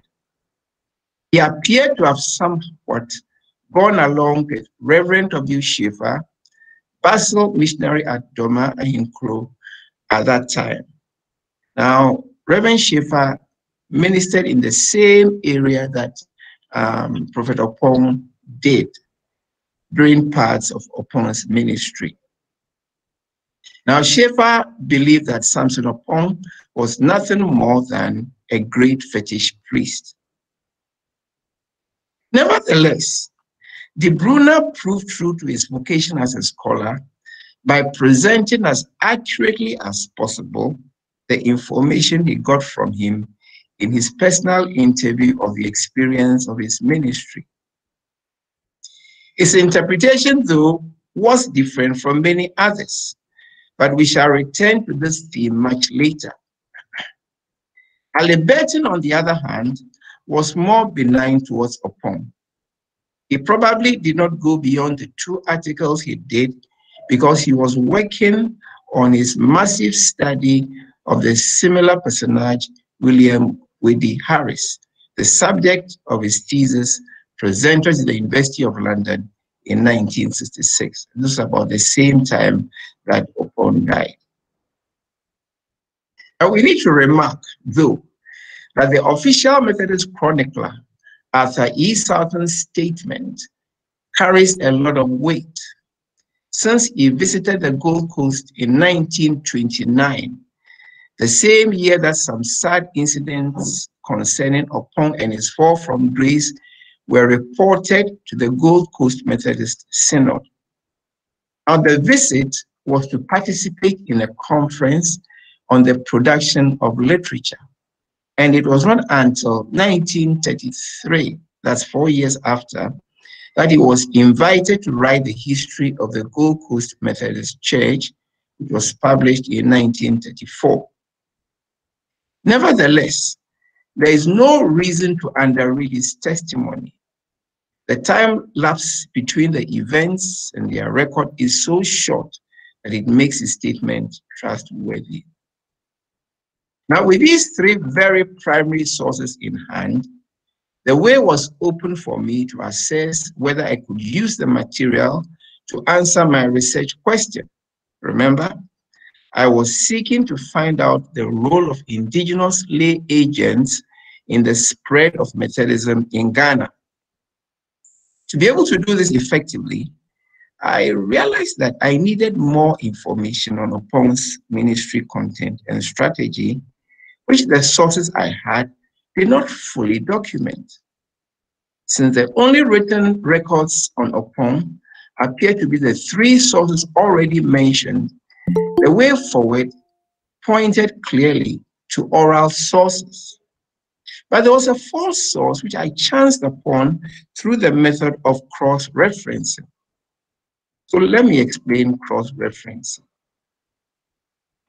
And before we, we do this in detail, we also need to explain the value of it, that is cross-referencing. That is following up on documented primary sources of earlier secondary writers which appear viable. This I did with the testimony of Reverend Schaeffer, remember him, Reverend Schaeffer on Oppong, which Debrunner indicates he obtained from a lady, Katesa Schlosser. Clearly, this source was very significant since Schaeffer lived in Dormaa Ahenkro, the same area as Oppong did during part of his ministry. Now, Schlosser's work was not in the Johannes Zimmermann Library of Akrofi-Christaller Institute, nor through internet and other searches in any of the university libraries in the country. The only viable alternative left was to search through the libraries of other Western universities through the internet. Providentially, I cited one in Edinburgh University Library where my niece was working on her doctoral degree. Through her, I managed to scan the relevant pages. Unfortunately for me, however, the document was in Old German. So I had to get a translator at the Ghana Institute of Languages to transcribe it into English at an expensive cost. Now, what about secondary sources? The nature of the research being conducted dictated that I move away from these in the case of the story of Samson. This was doctoral historical research, and I needed to validate my work with as primary a document as possible. Further, I've already indicated that for biography to be authentic, one needs to use as many primary documents as possible. I was able, by God's grace, to access the main primary written sources that were extant. There was hardly the need then for secondary sources. By way of reminder, I have to reiterate that I needed to do further research because the material available could not help me solve my research problem. Now, the way forward, therefore, appear to be oral sources. More general sources, naturally, related to the period and context of the research, were, however, consulted so that one could situate the story properly. So, oral sources on Prophet Oppong. Samson Oppong's village was a Akuntenim in the Doma state of the Bono region. So I had to go there. Knowing his connection with the Methodists, I sought to find out the nearest Methodist church. Providentially, but perhaps not too surprisingly, there was one in Akuntenim and even with a resident minister. This made my work so much easier as I could reside in his house and use him as my contact person. He himself had used Prophet Oppong as the subject of a required essay as a clergy probationer of the Methodist Church. So he knew key people I could interview in the village who had the requisite information. Among these would be J.K. Okra, a distant relation of Oppong, who was then the custodian of Oppong's house and his paraphernalia as a Christian prophet or evangelist. Okra gave me access to Oppong's robes and photographs and also showed me his bedroom. Later, I was led to his grave, on top of which the Methodist Church has now built a mausoleum. I've already mentioned that oral sources have to be used with care. Some of the stories which were told me about Oppong appear too good to be true, so I did not include them in my history. It is true that I had to make decisions as to what to include and what not to include. In the process, I was careful not to overstate my case for the clearly supernatural and prophetic type of ministry Oppong appeared to have. Now, in this way, I avoided hagiography. For as Walls has noted, and I'm quoting him, hagiography we have in abundance in African church history. And hagiography, like mythology, is a valid literary genre. But again, like mythology, it is poetic, not a scholarly category, unquote. Unfortunately, I could not access some of those uh, stories for this paper, the stories that appear too good to be true. Now, what method did I use to document the oral sources? I used a recorder. But at the same time, I wrote down the oral testimony in tree as fast as I could in English. Later, I transcribed the recorded material directly into English. On one occasion, an interviewer used the Bono language, and this sounded like Twi. So I thought the lady had a speech impediment. It was only later that I discovered that she had used a different language. Naturally, I could not get too much from her since I do not speak. I speak Twi. Now, in my work on indigenous agency, I had to tell the story of the other major Christian prophets in Ghanaian Christian history. That is William Wadé Harris. But I did not need to do further research because Gordon M. Haliburton and David A. Shank, together with Sheila S. Walker, had among them unraveled his story using very primary documents. And this was quality research for contemporary eyewitness accounts from the people who still remembered the prophet during the time of research, as well as the reports of missionaries and government officials of the time, had made it possible for a good historical account of the life of the prophet to be formulated. What I did, therefore, was to do only a summary and an analysis of their historical work as it related to my theme.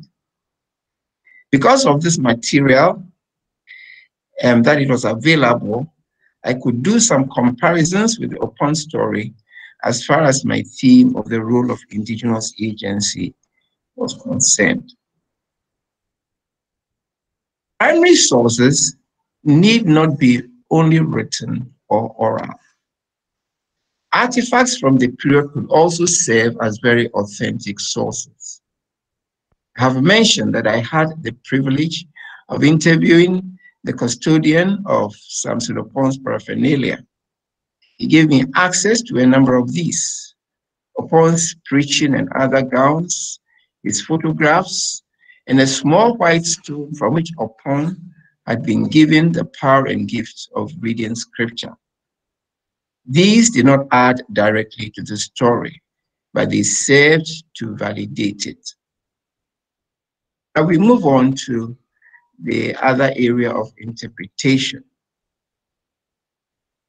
A little theory first. The subject of interpretation occupies center stage in historiography, for it relates to the purpose of the discipline. Why study and write history? There appears to be two main schools in the matter of historiographical interpretation. Schools, secular and Christian. The secular Christ, uh, historians take, among others, Thucydides of the 5th century BCE as their ancestor. They, and I quote, they regard human reason as the key to understanding the past, unquote. The record of past human events is held to have an underlying purposeful thread, and one can discern these purposes through human reason or rationalization.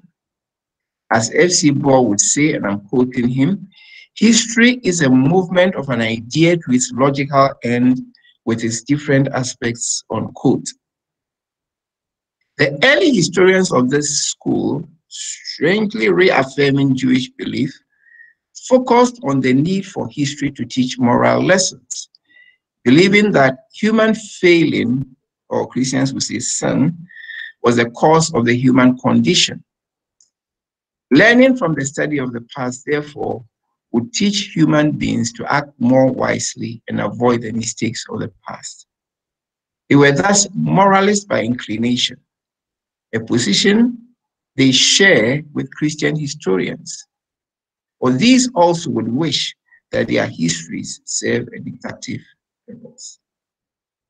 Consequently, Christian scholar Omulokoli would say the lessons learned from the biographies of these luminaries of the church will inspire and challenge many an eager Christian to fuller commitment and devotion to the demands of the Christian faith. In an age where outstanding examples are in short supply, those aspiring to greater heights in Christian life and service will find in the lives and work of these personalities fitting role models to emulate in their Christian pilgrimage. Unquote.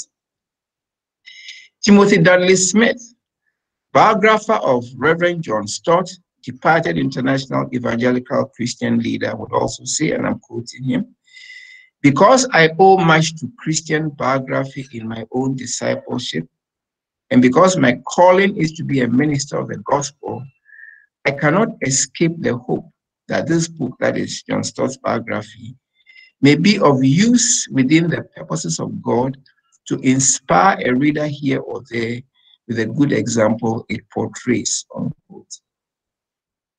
Beyond this intersection of purpose, however, Christian historians part ways with secular historians in their basic understanding of the moving force in historiography. They would consider history as, and I'm quoting one of them, the long unfolding of God's will, unquote.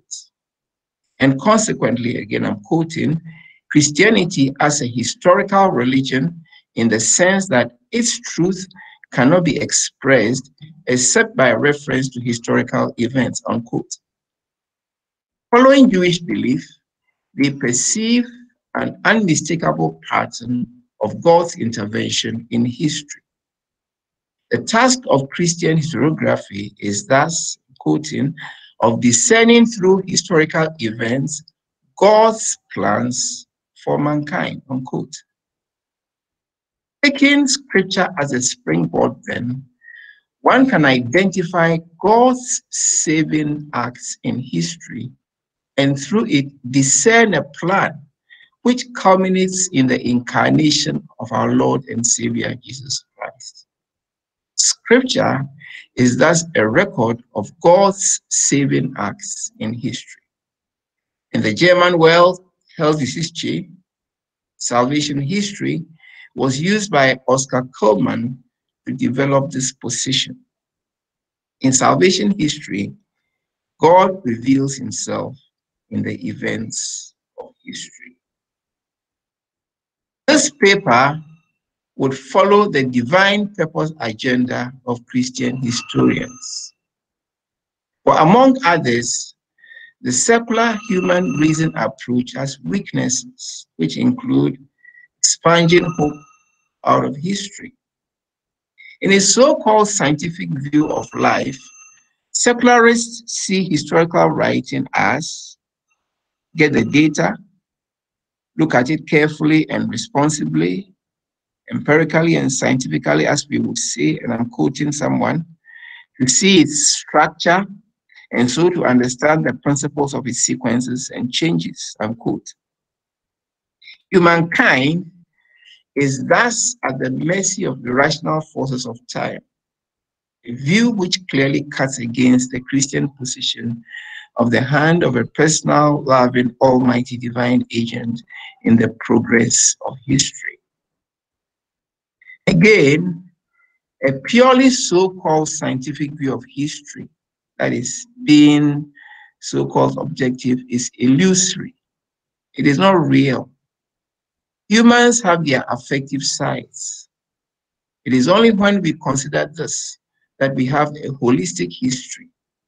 For people, I'm quoting, are frail creatures in the world of great spiritual forces and causes.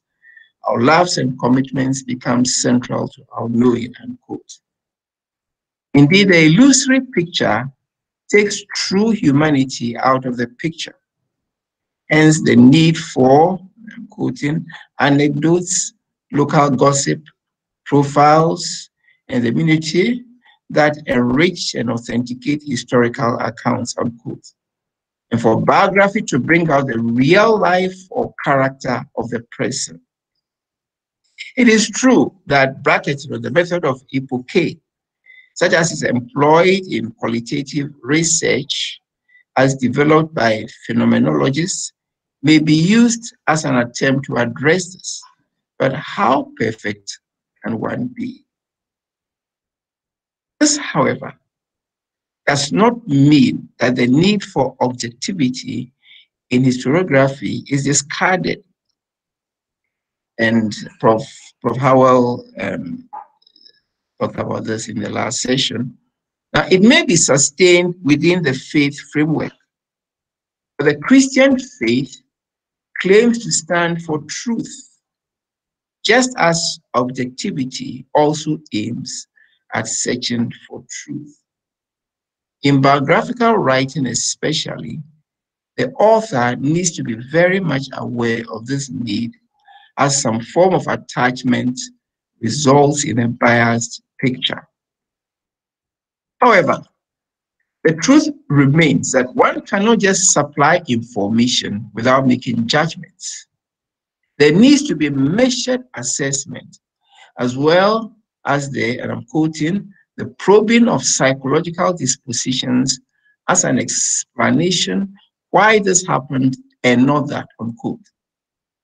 In addition, the researcher needs to exercise critical judgment, separating facts from opinions, biases, and inconsistencies in the narratives of interviews.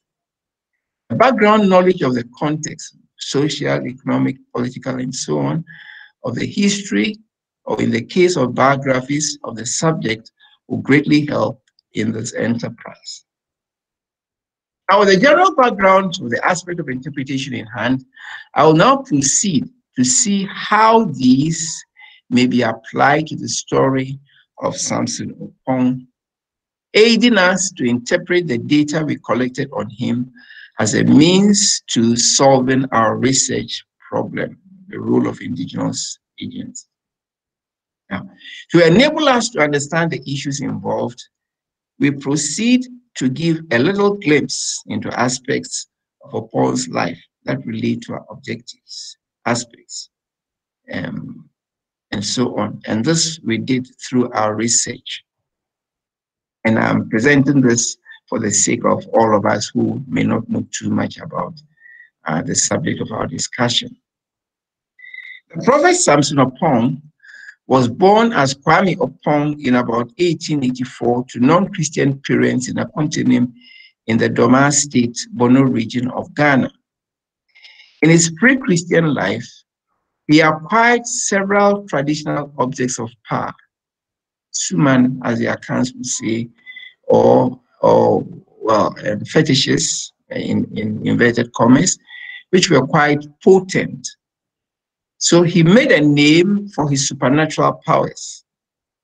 Among the fetishes were those used for seduction of women, stealing of fowls, and ensuring good business in the market.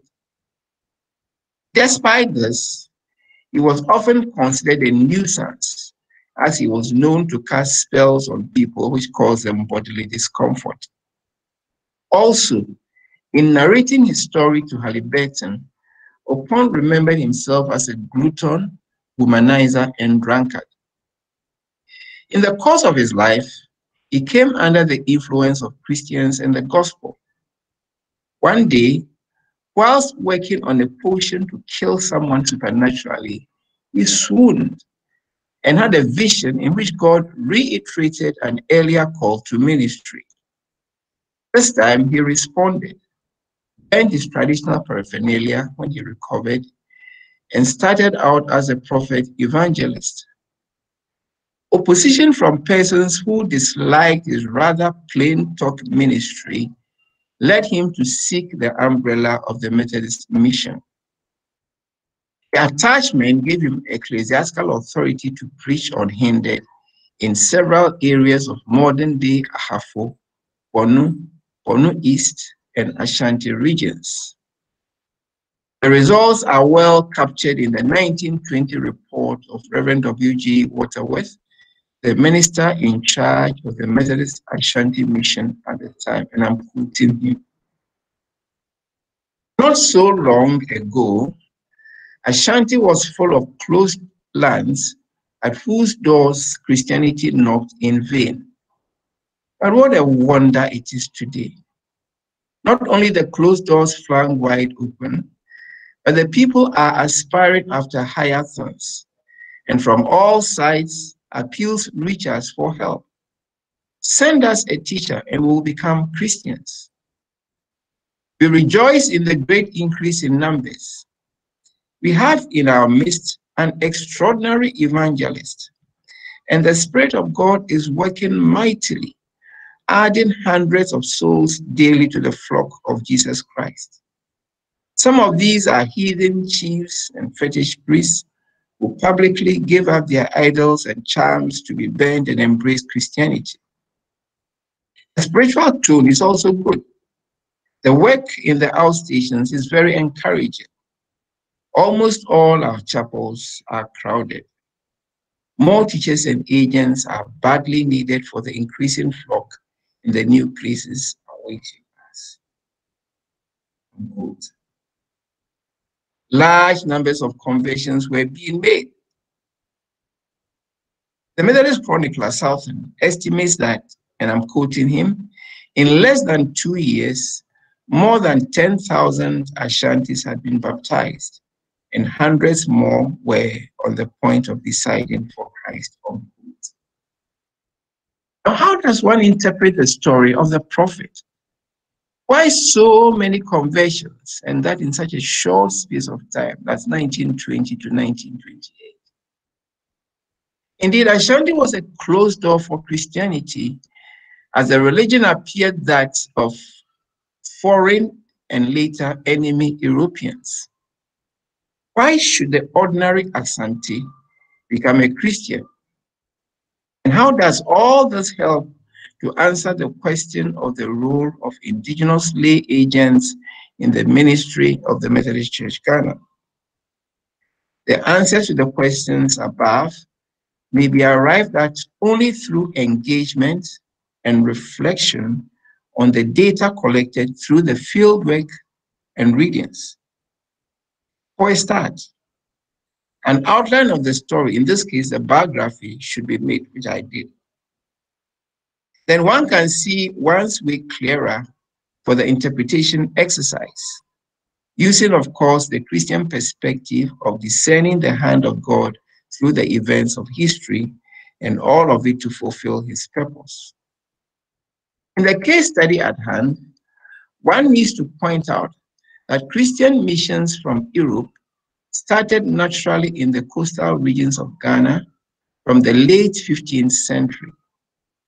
Not too much fruit was born initially until from the 19th century, Basel and Wesleyan missionaries entered the scene.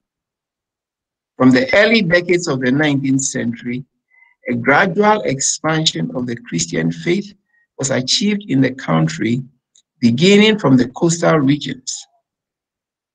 Even though Asante was rich in the early decades of this expansion, the perception of the ordinary Asante was that Christianity was the religion of the whites.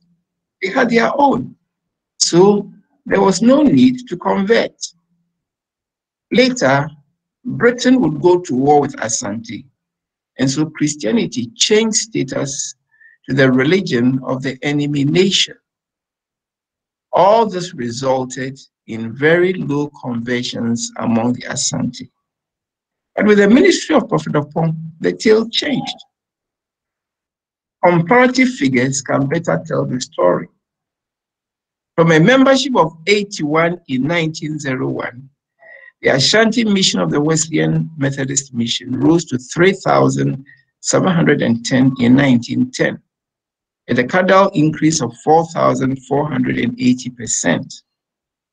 By 1920, the number had risen to 4,788, an adjusted the decadal increase of only 26%. The initial large increase in membership, to explain, was largely the result of the annexation of Asante to the Gold Coast colony through war. The region thus opened to the influx of Southerners, mainly for trade and the administrative activities associated with this.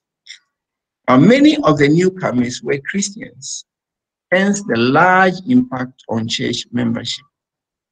After a while, the numbers had plateaued, resulting in the comparatively almost negligible increase in the second decade. The head of mission will lament, and I quote him, Ashanti was full of closed lands at whose doors Christianity knocked in vain. But between 1920 and 1928, however, when Samson Oppong entered the field, the numbers shot up to 15,857, an increase of 11,069, or adjusted the decadal growth rate of 278%. At the Southon, chronicler of Methodist ministry for the period would comment, I'm quoting him again. In Oppong, Ashanti saw one of the most remarkable movements in the history not only of Gold Coast Methodism, but of the whole Christian church. In 1920, there appeared the man called of God to break the power of fetishism in Ashanti and change its history. The figures 278% as against 26% eloquently tell the story that but for his ministry, no real breakthrough would have been made in Ashanti and this not only for Methodism, but for other missions as well. As Oppong worked as a man of God, even though under the Wesleyan Methodists, and the, the Basel Mission was also working in the area. Now, how does this relate to our research problem? Upon reflection, using also the insights provided by the wider reading in the context, one arrives at a solution. With a normal mode of training and ministry pattern using indigenous agency, Methodism was built to succeed to some extent, as was shown in some parts of the research. Perhaps among the coastal people who had been influenced by Western education, technology, and ways of life, good inroads could be made. Further inland, however, another type of ministry appeared to be needed. And it seems, and I'm preaching this from a Christian perspective, it seems that God, in his wisdom, raised Samson Oppong for that achievement. Buttressing this observation is the fact that only a few years earlier, another prophet, William Wadé Harris, had similarly ministered powerfully in the western regions of Ghana with his charismatic style, which won even more people for the gospel. An estimate gives the overall number, including Cote d'Ivoire, as 200,000. The biography of Samson Oppong showed that there was another kind of ministry which appeared to win certain classes of people, which indigenous lay agents of the normal Western type training were not reaching. There appear to exist indeed exceptions to the rule. Further down the history lane of Ghana, it would be seen that it was this other type of ministry leading to the rise of the Pentecharismatic ministries that would win the day in Africa. So far, however, it appeared that the research problem had been solved, but with it came other questions that were related. Why had the Western type trained agents not been successful among those of the classes of people upon one? Reading wider in the Christian history of Africa showed that Oppong and even Harris did not stand alone as indigenous charismatic prophets of God who ministered with large successes. and that around the same time, that is the early decades of the 20th century. Well-known examples of such persons would be Isaiah Shembe, who, who worked 1906 in South Africa, William Wadé Harris, 1913 from Liberia, but ministering mainly in Cote d'Ivoire and the Gold Coast, Garrick Braide, um, 1916, Nigeria, and, and, and Simon Kimbangu, 1921 in the Belgian Congo. There were several other dynamic lay indigenous men of God, and I should have added women of God, with an African orientation in ministry who would minister in a similar way. These men became the forerunners of the African independent churches. And later, with the rise of the Pentecharismatic ministries, it has become clear upon reflection that providentially, God was raising another kind of ministry pattern which was more indigenous and consequently spoke more fully to the primal worldview of the people. Indeed, this, I believe, was in the full plan of God, for the Christian faith needed to be shown to be African also, and not just the revert side of the benefits of Western civilization as the modern missionary movement to Africa sometimes seemed to depict. The ministry of Samson Oppong can thus be interpreted also in this wider light in the context of Africa. The conclusion. This paper set out to use a biographical method to answer a research question or to solve a problem. It has done so by using the story of the ministry of the Prophet Samson Oppong, whilst focusing on the historiographical methodologi methodological aspects of sources and interpretation. Biographies may thus be used to explore research questions, but one must navigate the process with recourse to as primary a document as possible. We have shown that these could be written or oral, with a preference for written sources, since the accuracy of oral sources is problematic. Authenticity, secondary sources may only be resorted to if the quality of the work is not at stake. Indeed, acceptable scholarly work should always be done with primary sources. Secondary sources, however, are helpful in that they make the researcher aware of existing landmarks in the context and the story to be told. In some extremely helpful cross-referencing may be obtained through the initial work of a secondary source. In historiography, the issue of interpretation is key since it underlines the different approaches. This work is Christian, so it meant that we could only agree with our secular colleagues on the didactic role of history. For the Christian, history was but an unfolding of the divine purpose. But in what way did it underline the story of Samson Oppong? by researching into and constructing the biography of Oppong, and through reflection on the wider readings available on the context, I was able to arrive at a considered view on an aspect of the role of indigenous lay agents in the growth of Methodism and consequently of the Christian faith in Ghana. In relation to Oppong, I understood that he was a special kind of lay agent who with an animated and indigenous worldview of religious response to the transcendent was able to more successfully win large numbers of indigents who could not be drawn to the faith with the more Western modes at play in the initial efforts at evangelization.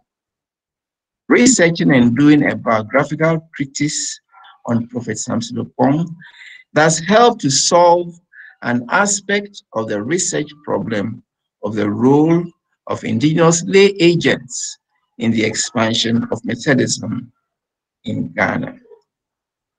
Chair, I'm done. Yo, thank you so very much. You have done it methodically. We thank you so much. You've been able to within time. Uh, so we have some been able to spare some time. So we have additional uh, time to help us interact with our, our, our, lecturer, our brother, and our dear friend. Walton, thank you so much for helping us to look into the life of Samson Oppong. So the floor is open now. Question for clarification before we come to substantive questions on the issues presented.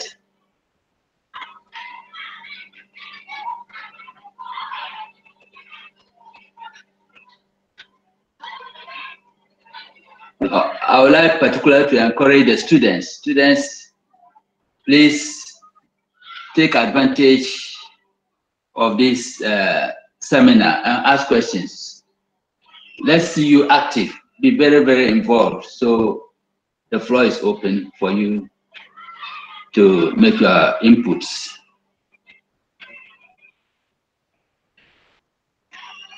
I'm not seeing any, if you are ready to ask a question or make a contribution, please do so. Okay.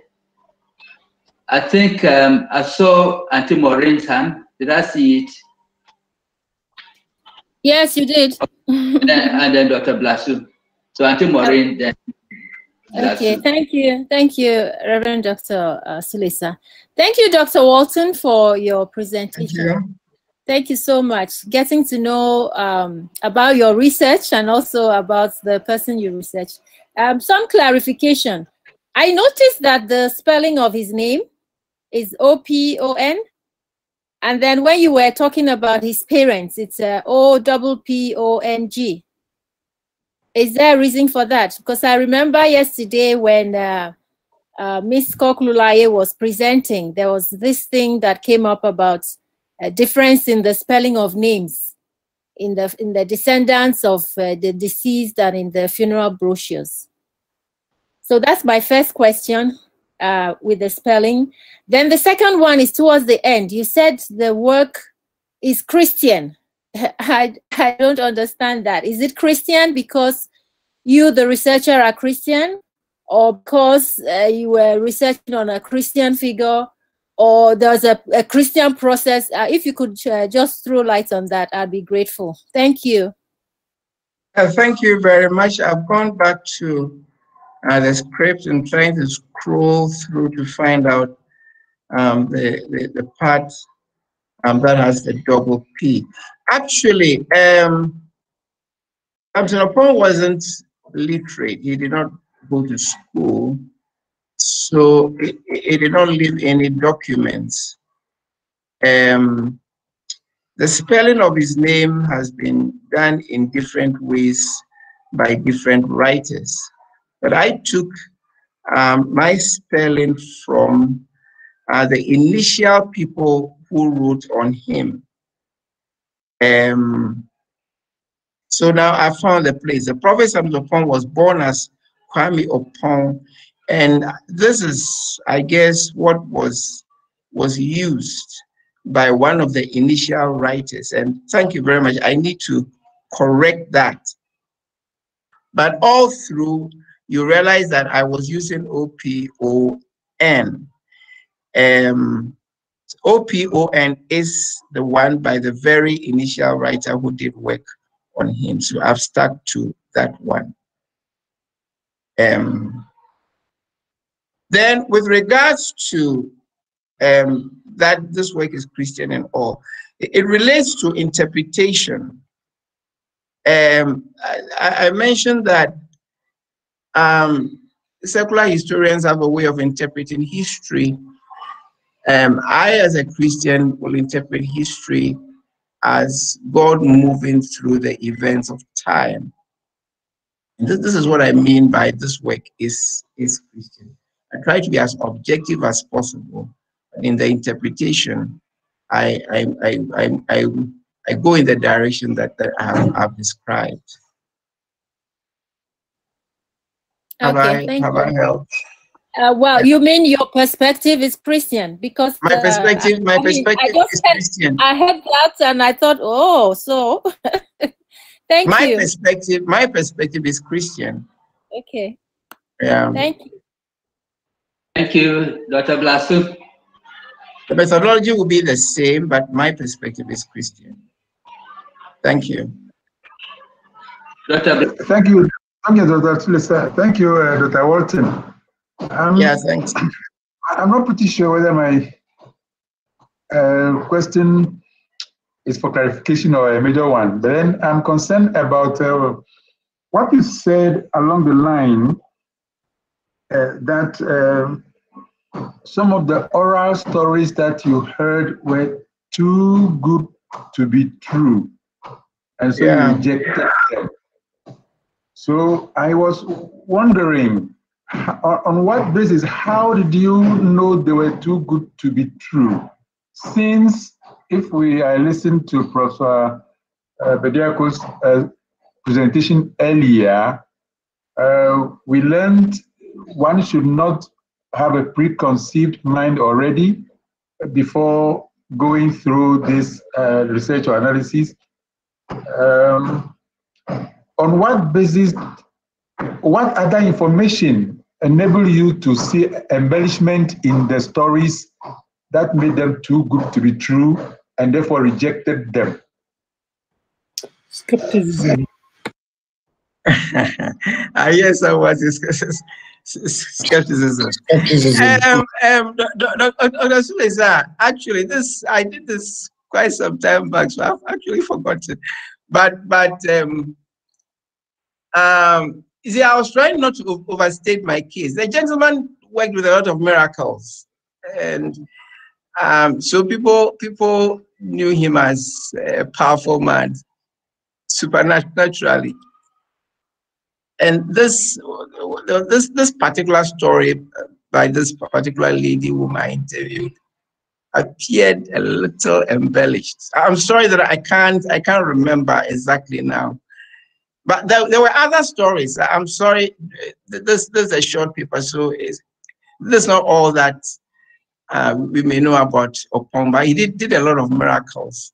I guess that's why he was influencing a lot of people Christ. Um, um, those other miracles I, I documented. Um, so maybe the, the, the, the word is skepticism. And most of the other ones too, they were corroborated by other people. This this one, I I I don't remember that any other person corroborated it, even though it's possible that it may be a story that that will be going around. Um, so I, I don't know whether I've been helpful. I, I, I didn't want to overstate. The point is that he did a lot of miracles, and so he was a man of God. Uh, people knew, knew him to be a man of God. But that that particular story appeared a little em- embellished, so I left it out. Thank you. Um, Dr. Walton, uh, yes, he was non-literate and he, he was using the stone to read. Can you explain that? Uh, or is that one of the stories that we found too good to be true? No, no. In fact, in my thesis, I, I did a whole section on that.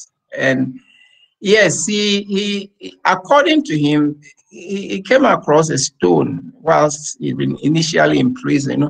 He, he, he, he was not in, in the very good books of some of the traditional leaders because initially he started branding some of the leaders as, as witches and stuff like that.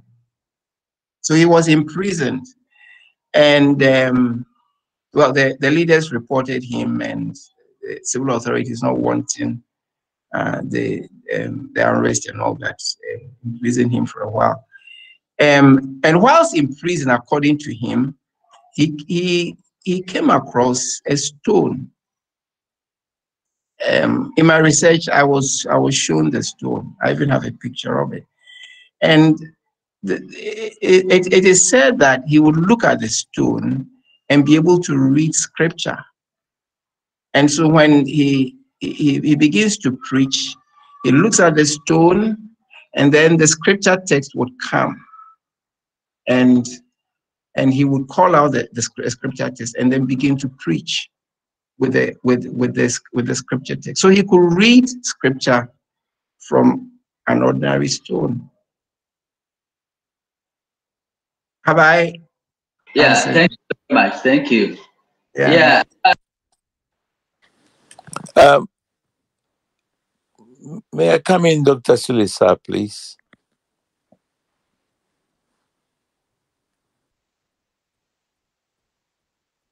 Dr. Sulesa is muted. Perhaps he's speaking, we can't get him. Oh, sorry. Sorry. Thank you. Uh, Henry. Yeah. Henry, Um, you th- uh, thank you. ve- Hanson, Hanson, if you raise your hand after this, then you can come. And then followed by Jeremiah. Yeah. Right. Go Thank, ahead. thank you, sir. Thank you, Dr. Sulesa. Um, I, I want to. No, you you come after Henry. Yeah, Oh, thank you, thank you very much. Thank you very much, Dr. Sulisa, and thank you, uh, Dr. Walton, for the stimulating presentation. I, I- I'm trying to get my head still on the question of illiteracy, trying to get my head around the uh, the response you've just given, and then I was also reflecting the other day, um, maybe on Monday or so, somebody gave um, a devotional and mentioned that somebody was illiterate. And I was thinking, I think, but in yours, you mentioned that you, you said a little bit about uh, the person was able to read from stone. And I'm thinking, the, what language was he reading? And in and in that context, I'm asking, uh, in in, in academia or in the ACI, what would we consider as illiteracy? Is it when the person can't read English or can't read his own language and can't write his own language? I'm thinking of what we will, how we would define or look at illiteracy. Well, um, actually, whilst um, talking about Opong, I said he'd not been to school, so he could, he could not write his name in the usual way, and he did not leave any documents. This was in response to Dr. Maureen's question.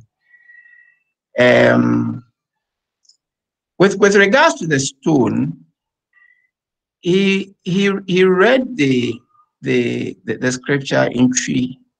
You look at the stone and then then read, read scripture in Twi.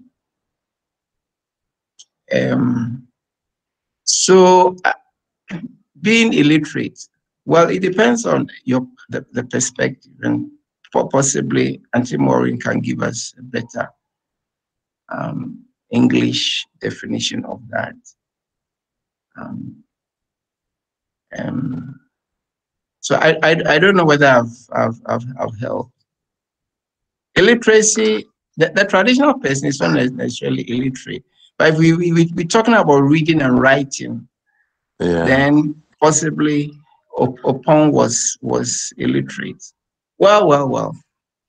Yeah, you, couldn't read. You, you couldn't read. You couldn't read material that had already been done by someone. The reading he That did from, helps. from, from the stone was su- supernatural. That that's helpful. It's, it's a it's, it's a it, it it raises the issue a little further for conversation. So I, I'm glad you you we touched on that. Thank you. Yeah, I think I would just want to say that uh, you could be referring to the or turning to the chat box also. There are certain things there. Professor Lai says that literacy is the ability to read and write. And Auntie Maureen said, let Auntie Mary help us out here. Auntie Mary. well, perhaps we can also be told what is literacy in mother tongue. well, well, well. Okay, so if Auntie Mary comment, fine. Otherwise, Jeremiah, you have the floor now.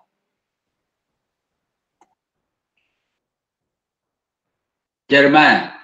Yes, sir. Dr. Sule, sir, thank you, sir. I, I want to uh, appreciate Dr. Walton for a very good uh, work done. I've learned a lot from what he has um, rehearsed to us.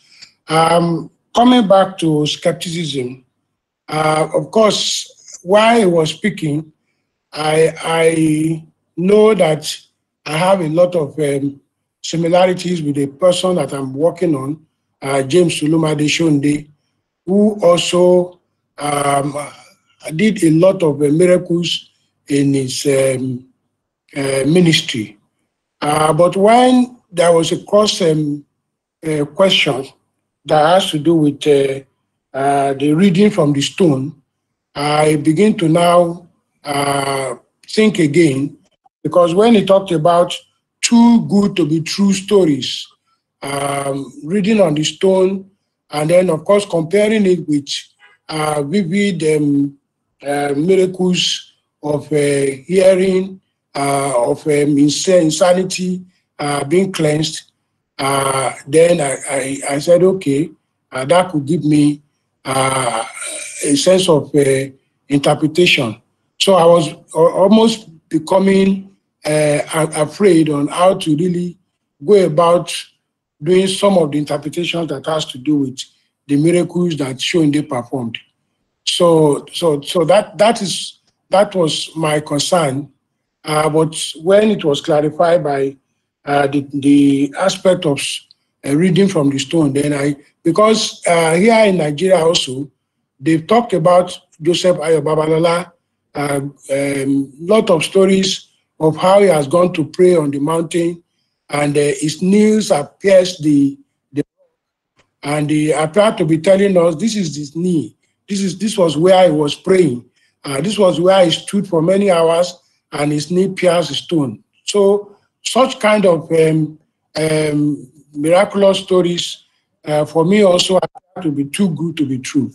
And uh, of course, I want to thank uh, Dr. Walton for for clarif clarifying that. Well, thank you very much. Um, thank you. So the floor yeah. I guess the word is skepticism. Yeah, okay. Okay, Dr. Sulesa, thank you very much. Yeah. Uh, I want to thank Dr. Walton for a splendid presentation. It was so concise and uh, very simple to follow. Thank you very much, sir.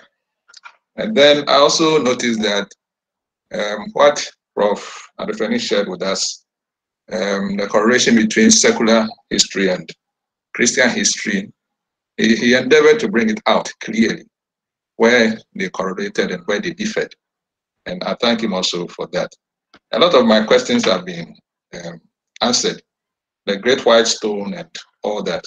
But maybe I'll, the last one, why they describe him as a great uh, fetish priest. I want to know why he put in there that they describe Samson as a great fetish priest or nothing more than a great fetish priest? Well, wow. This this is a perspective of the gentleman, Reverend Reverend Schaeffer.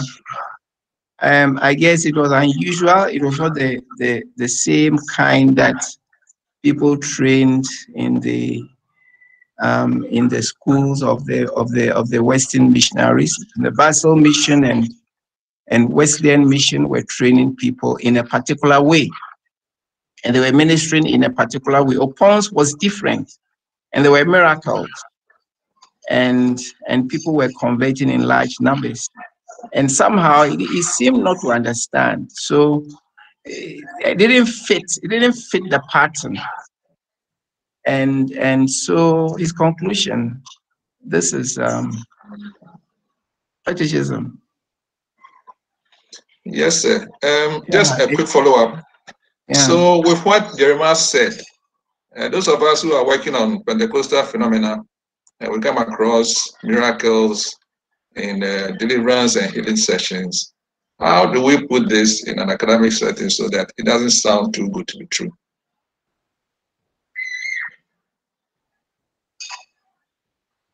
Well, this, the discussion has well, it, it did start on Monday, and okay. and the way that that that was uh, presented was skepticism.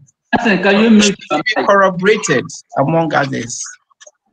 Um,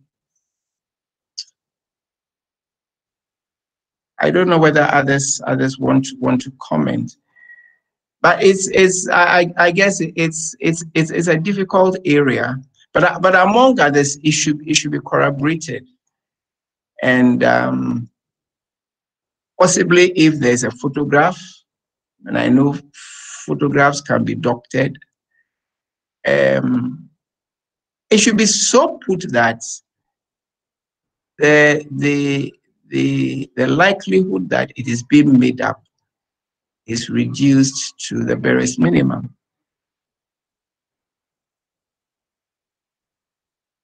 I, I, I don't know whether we've, we've helped. Yes, okay, thank you. But, but uh, possibly this, this, this is a general question. And, um, and yeah, and I think that there should be more contributions on, on this. Yeah.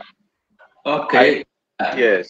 Uh, I think maybe if I can respond a bit to Hansen, you know, it's a it's a matter of style and how you present what you have heard or seen. Um, in academic writing, obviously, you have your own opinions, subjective opinions, but you want to be objective as much as possible. So, the language you choose. Uh, if somebody says something and you agree with them, there's, a way you can put put it so that you don't fall, you don't become a victim of um, the language that your respond your respondents are giving you. You want to be objective. You want to present the facts as much as you can. And so, if there's a like I think Professor Dofeni mentioned, um, you you have a fact of a myth um, that everybody can appreciate that this is what the people believe. But if you put it in the language such that in your commentary you come through as if you literally believe what is that, what is there, what has been projected, then that's where you have problems. But as as a as as academic writer, you have the facts. It could be a myth, it could be a popular opinion, but how you present it will go a long way in in in in, in, in how you are assessed. Thank you. Yeah, thank you too, um, Dr. Gazy. Um, the, challenge, the challenge here is um, something happens. It's not, it's not a myth. Contemporary issue, you know, a, a miracle. Someone is uh, goes through a deliverance session and is delivered of A, B, C, D, E, and then the, the, the researcher reports it and quote, it appears, quote unquote, too good to be true. So how do you so put it that it does not appear too good to be true? And you say, Dr. Gazy, that the language you use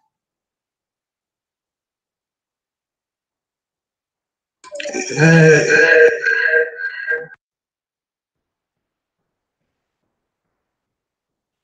yeah, um, um, Chair, Dr. Dr. Settles wants to wants to speak. Joshua, yes. Yeah, I, I I was going to say in relation to Dr. Walton's uh, point and to that question, uh, there are facts and there are interpretations of facts. And uh, so we talk about a miracle or a deliverance session.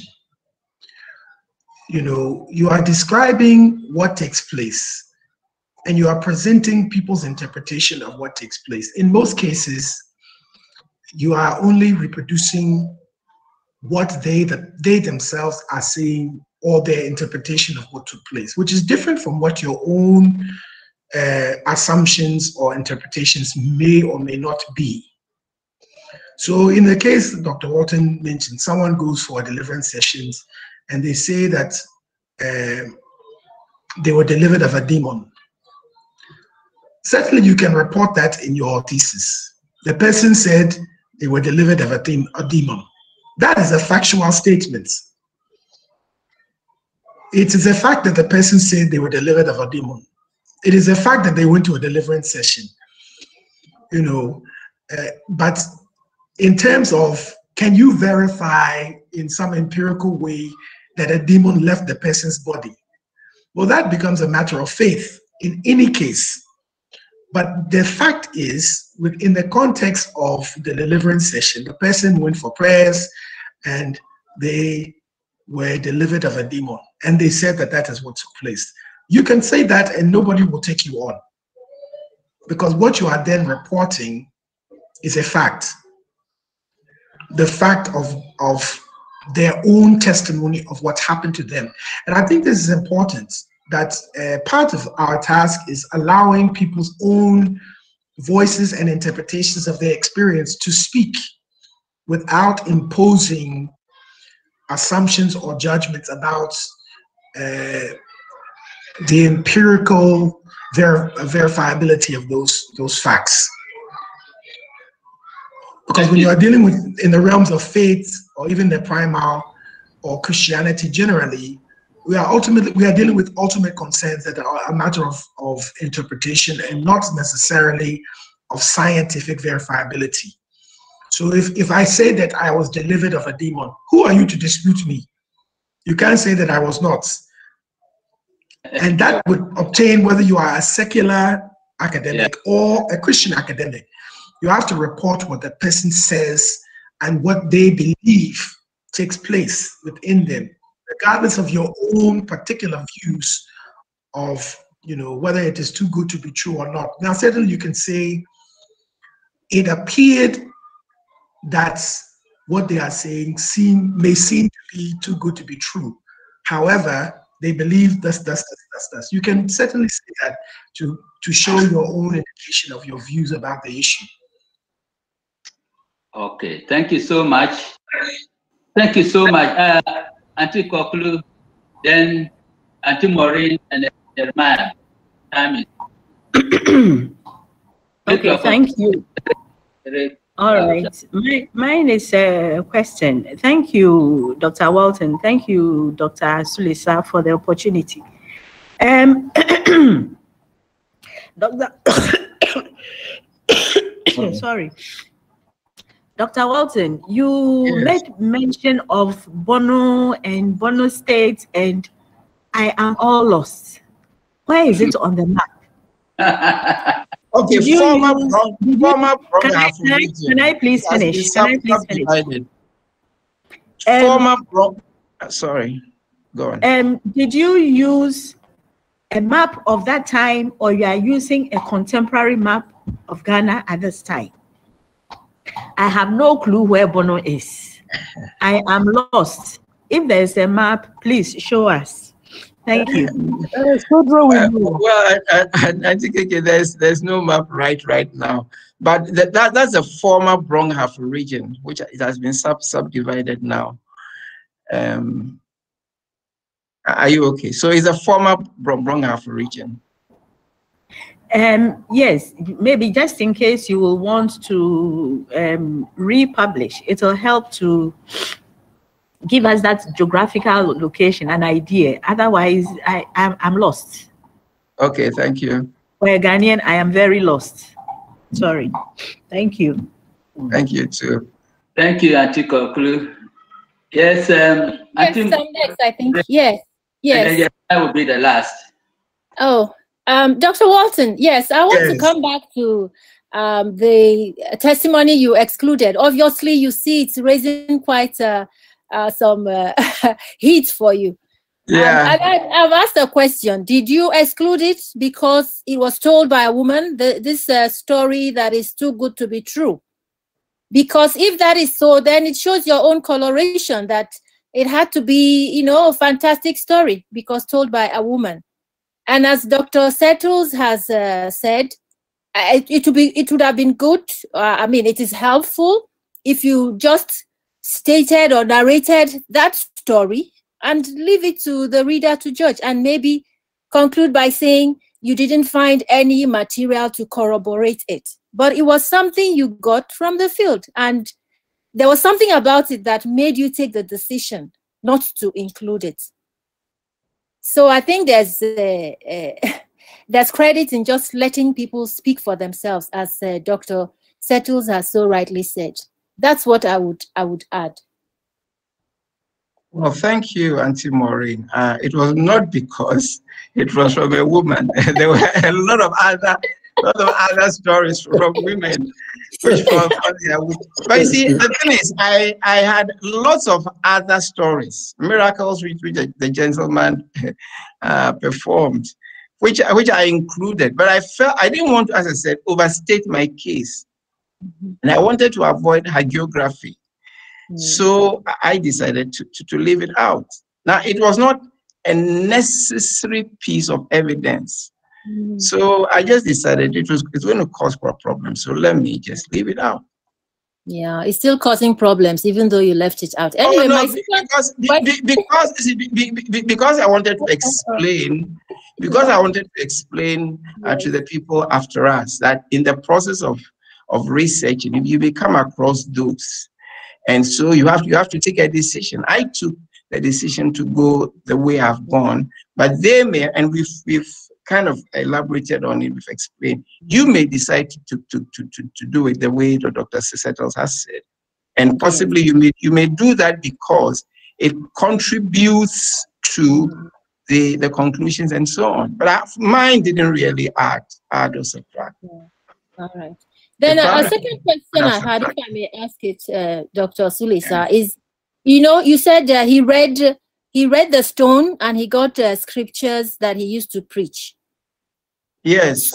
I'm asking, so were there um, were these biblical passages? Was was there correspondence or corroboration, as you would say, of those uh, passages with you know of what he he was preaching? In other words, uh huh. So they could Exactly. be found in the Bible in the language. Exactly, they could be found in the Bible. He was reading scripture actually. Oh, wow, wow. So it, it, it, it, it was miraculous. Wow. Thank you.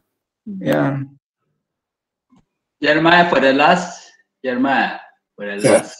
Th- Thank, thank you, uh, Dr. Sol- Solomon, Solisa. Uh, actually, we, we have uh, examples of a uh, example of a Badari who was uh, uh, totally blind and uh, uh, in the CAC that could uh, quote a scripture, ask people to read, and while they are reading, if if they miss uh, read, misquote, he will he will tell them, no, you have, you have not read the correct uh, uh, passage. And of course, uh, when you check it, you know that he is correct. Yeah, and definitely he's blind. Where he's totally blind, and his ministry was spectacular in the Christ Apostolic Church Nigeria. I want I want to thank um, Dr. Setu for uh, helping helping us to actually uh, state how it should be done, uh, actually presenting it as it is, and then of course offering uh, to uh, corroborate it with uh, um, our own um, interpretative uh, um, format based on um, the the interpretative um, concerns that we are coming up with, and I think that is helpful. Thank you. Thank you so much. Um, I think our time is up, and we want to say a big, big thank you to our dear friend James Walton, Reverend Dr. James Walton. You have you have done justice to the topic. God bless you. We now Thank you very much. It's a pleasure. We'll now take the last one, and that one, uh, that's the final lecture, that's lecture seven, Researching Biographies, an African Pentecostal Contribution by Eric Asare. Eric, you have the floor.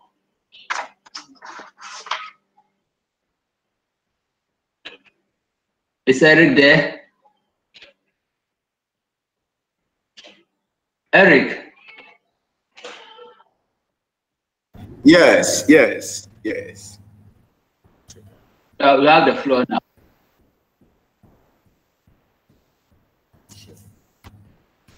Okay. Thank you very much for the opportunity. I'm presenting from ACI, Researching Biographies, a Pentecostal Contribution.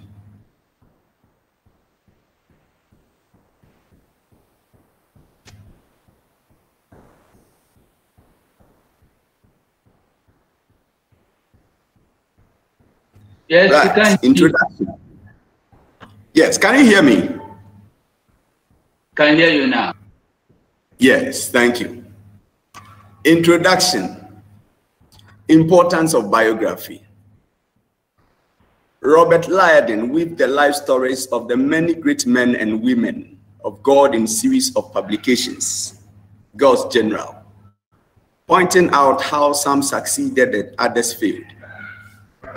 Even though Liardon's approach is commendable and worth emulating, I have issues with how he selected Christian leaders for his reflections, in which he almost neglected African and Asian leaders and reformers.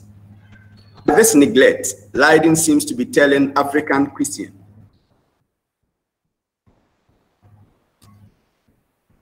By this neglect, Liardon seems to be telling African Christians, sorry, I had an issue here, to tell stories about their great Christian men and women. Have African Christians succeeded in this biographical task?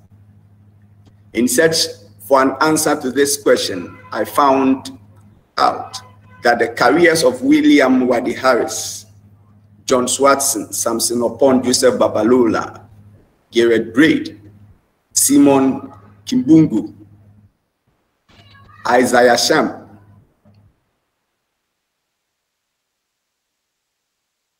and several other dynamic African peers of the continent, a good number of them being women, have already caught the attention of scholars. None of the prophetic figures, according to Kwame Bediako, was considered by a missionary society. Yet, their ministries contributed significantly to the growth of mission churches. My search also took me to the website of Dictionary of African Christian Biography, from which I read the following mission statement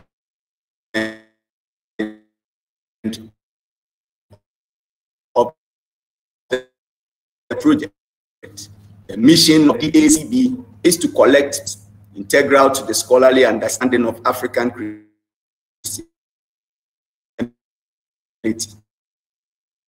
Two other things are the African Christian biography, a cluster publications for the celebration of the 20th anniversary ACB, and the fact that the dictionary accepts entries that are written in English, French, Portuguese, and Kiswahili languages.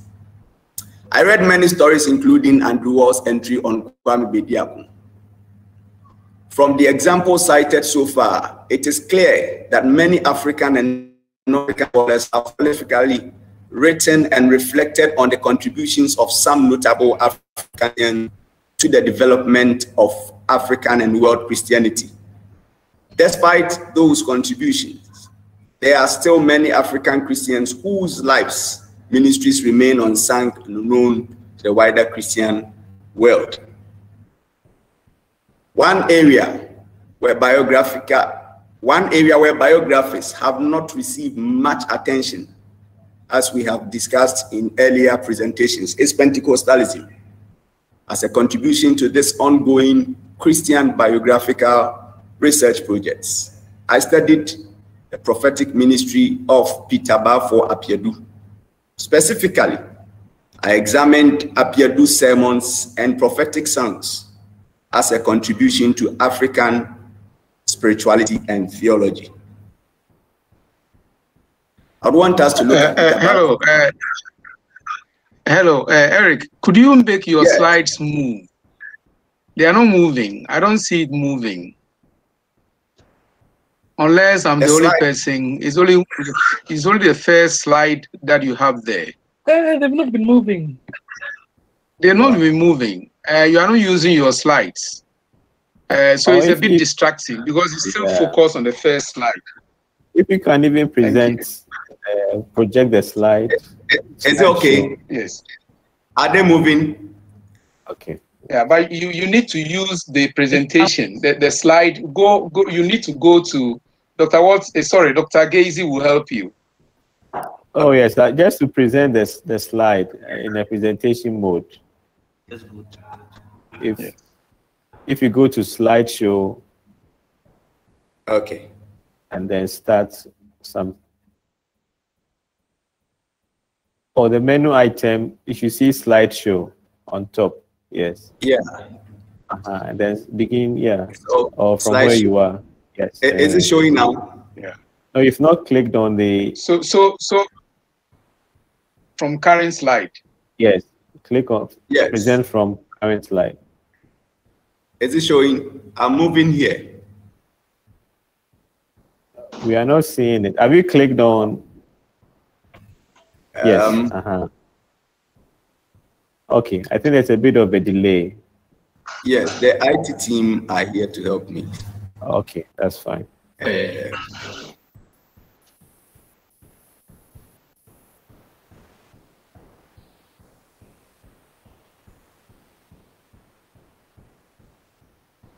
Sorry for the interruption. yeah. Okay, so Eric, you can continue. Yes. Um, can you see the movement now? Hello? Please, you move on. You go on. You go on. Unfortunately, no, but I'll, I'll, you go on as the moderator is saying. Okay. Okay, so it's unfortunate. Right. So we look at the life, works, and prophetic ministry of Peter Balfour Appiah-Adu. Peter Balfour Appiah-Adu is a retired minister of the Church of Pentecost, who is noted for his deep Pentecostal spirituality and sacred songs. Appiah-Adu was born in 15th April 1946 in Cape Coast and was raised by his deceased parents at Ayure, a small town in Ashanti region. Appiah-Adu's parents, Openi Daniel Kofi Juma, father, and deceased Deaconess Mary, also known as Aban. Both were from the royal class of their respective hometowns. At the time of political reforms and pre-independence struggles, Appiah-Adu endured harsh economic hardships throughout his childhood. Many of the challenges, including the demise of his father, that brought untold hardship on his mother and siblings, joblessness, poverty, hunger, scarcity, and aspects of political ideologies of Ghana's first president, Kwame Nkrumah, compelled him to pursue God. Later, in his pastoral and prophetic ministry in the Church of Pentecost, Appiah-Adu faced other challenges, including the death of his two children, intimidation from superiors,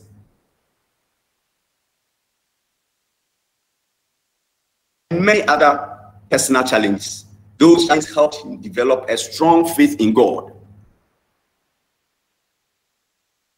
His pursuit of God, he further developed a rich spirituality of his prophetic ministry. For that, was of his prophetic songs and messages. In all, Appiah-Adu has over 400 to his credit, to which 30 were studied. These songs were received by divine inspiration through dreams, Bible reading, preaching, worship, and personal meditation. Some of the songs are sung in churches and homes across Ghana and beyond. And for the sake of this presentation, I would like to walk us through some of the songs, at least about 10 of them, so you appreciate his contribution. The first song Appiah-Adu received is Momaso, and I'll sing it. If you have the tune, you can hum with me. Momaso, Momaso, Momaso, Momaso, Momaso, Momaso, Momani din so amenyina behu se Yesu dina ya maso. Yebemani din so amenyina behu se Yesu dina ya maso. And there were songs like Jesus Yekania eshren obe eshren amaya fumu kwan o o Jesus Yekania eshren yina ye free wa kumem dana se fi wa kumem waye bi waye bi waye bia manebusu we had songs like Yehovah me botentim mabanke se ne meji fo michem migwankobia miwura midawa sida orinya meda orinya meda. That's another song. Then we have yesumo niawaye dosun yesumo niawaye dosun titintire de nyame ne wo dosun then we have songs like enso no ye se obeye enso no ye se obeye bibiara niwa nyame ntumi nye. Enso no ye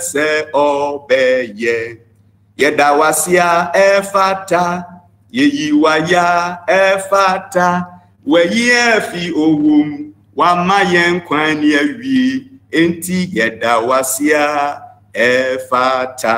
Then we have songs like minim ni din ọ Jesus ọ̀yà hini mu hini ọ̀yà ẹ̀rẹ̀ mu ẹ̀rà minim ni din ọ Jesus. Then we have maami nyẹ sẹni ati ti funu yẹ maami nyina. Sɛnea wogyina jesus mesrɛ wo mewura mesrɛ wo da nyina. Ma pentecost gya no mmra me mu. Then we have medɔfo kɛseɛ mema wammo finally the song for this presentation is ɔkamafo ɔkamafo nyame. Odimafo odimafo nyame.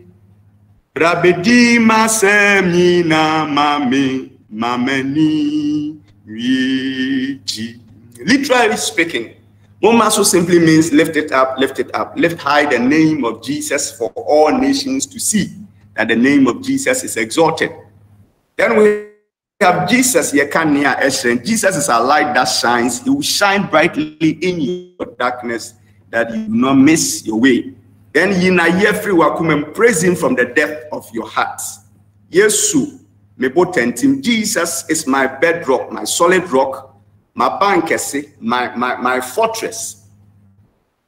Then we have songs like Orinya Meda. Jesus will never leave me when I walk through the valleys, when I walk through the waters, when I walk through the fire, he will never leave me. Yesu mo niawaye dosu. Thank you, Jesus, for the many wondrous things you do. And so yet so simply means that God, nothing is impossible to our God, and God is able to do everything. Yet that was If we thank you, it is worth it. Minidin only Jesus. I know his name, he is Jesus. Kings is the Lord of Laws. I know his name, he is Jesus. Then the other songs, let me be like my forebears.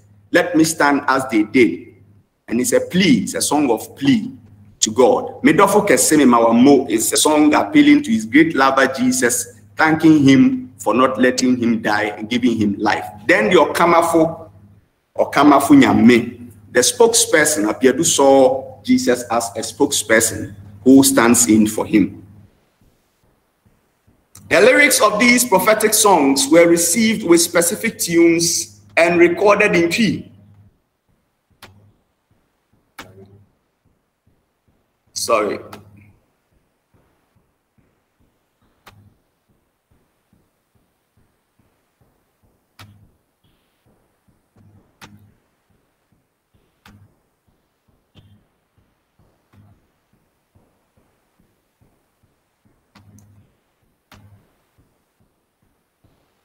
Okay now.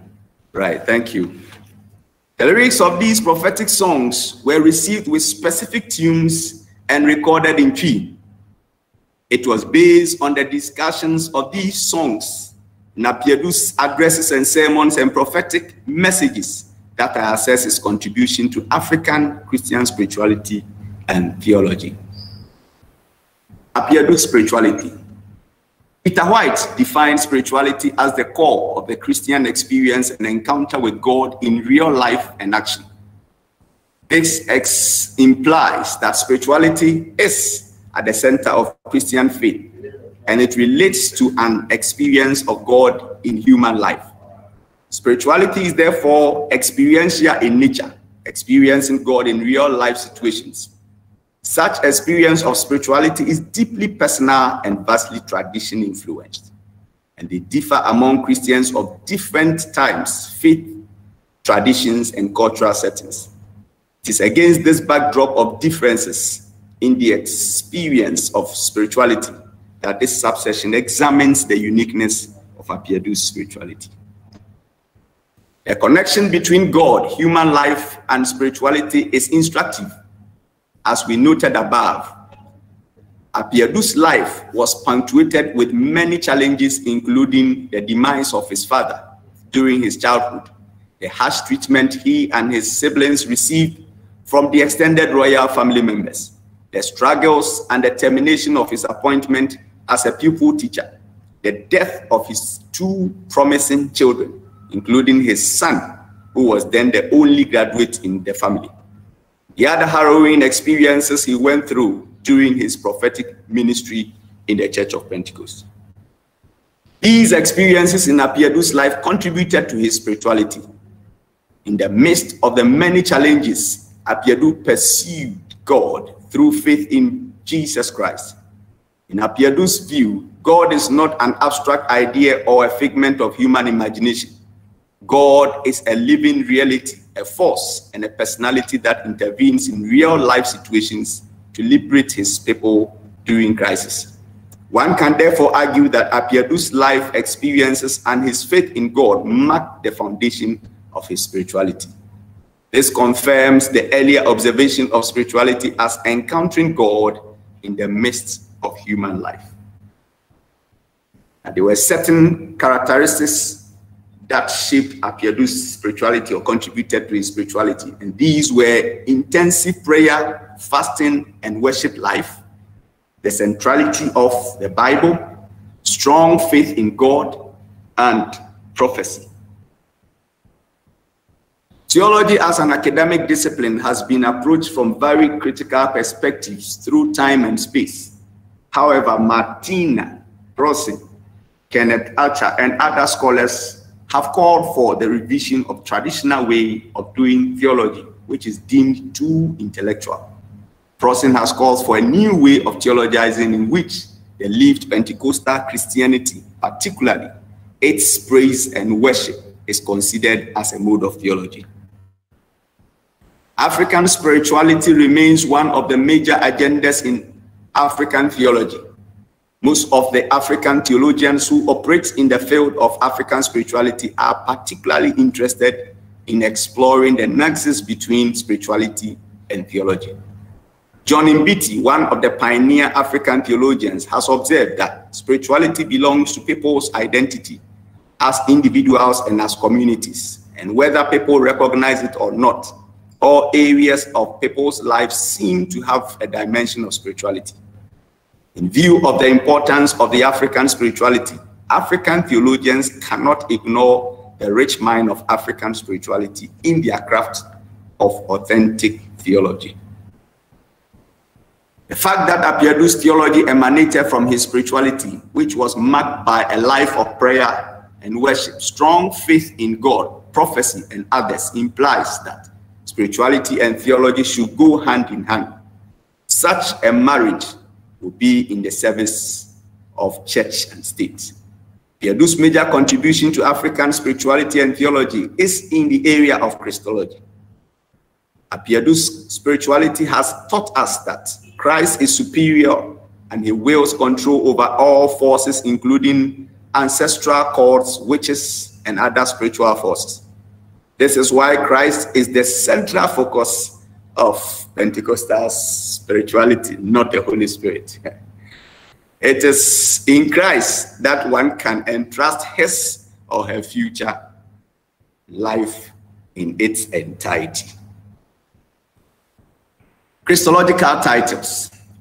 Theologically, Appiah-Adu's Christological contribution adds up to the African theological scholarship, particularly on the Christological titles which have engaged the attention of African theologians in their quest for an authentic Christology in Africa. Such an authentic Christology should come from people's experiences of Christ in their everyday life. One way in which we can appreciate people's experience with Christ is by examining how they use titles for Christ. Titles in African worldview. Emmanuel O. Nwauru has pointed out that this is one of the oldest approaches to Christology in the New Testament. Generally, the African primal worldview encourages the use of titles in not only addressing persons of rank and honor in society, but also in evoking the deity. These titles, according to Wauru, affords us to say what needs to be known of and about Jesus Christ in relation to his character, mission, and office in the African context. We have Christological titles in the Aladura Church where Deji um, pointed out names like Oluwosande, uh, Oludande, and the others. These are Christological titles that are reflected in Aladura's songs and prayers. Now we are looking at Appiah-Adu's Christological titles from his prophetic songs. In the same vein, the study of the prophetic songs of Appiah-Adu also reveals Christ as light. And of course, we saw from some of most of his songs, Jesus, Yekania, Eshrei, and the others. Spokesman of Kamafo, protector, and then provider. He also presents the deity of Christ and his transcendent nature. With this, Appiah-Adu is emphasizing the dual significance of Christ to the African Christian. Christ as our Lord can help us meet our existential, physical, and spiritual needs. Expressed differently, Christ has the power to deal with our struggles in life and our fears of evil spirits and other external hostile agencies more powerful than man. This assessment of Appiah-Adu's Christology is in line with Kingsley Larbi's view that Pentecostal spirituality appeals to the African primal worldview and aspirations, which includes man's quest for salvation from supernatural sources to live life meaningfully. The centrality of the Bible in Appiah-Adu's ministry. The first tenet of the Church of Pentecost reads, in part, we believe in the divine inspiration and authority of the Bible that the Bible is infallible in its declaration, final in its authority, all sufficient in its provision, and comprehensive in its sufficiency. This implies that in the COP context, the Bible is not a mere textbook. It is seen as a sacred, authoritative, and instructive. Appiah-Adu subscribes to this tenet. The Bible is central to his spirituality. In a citation presented to him in the Gosu area on the occasion of his retirement from active ministry of the Church of Pentecost, Appiah-Adu is a student of the Bible like Ezra. This is true because I have personally seen Appiah-Adu spending several hours meditating on scriptures almost every day and particularly during moments of prayer and fasting. Appiah-Adu finds the Bible as an important source of Christological reflections.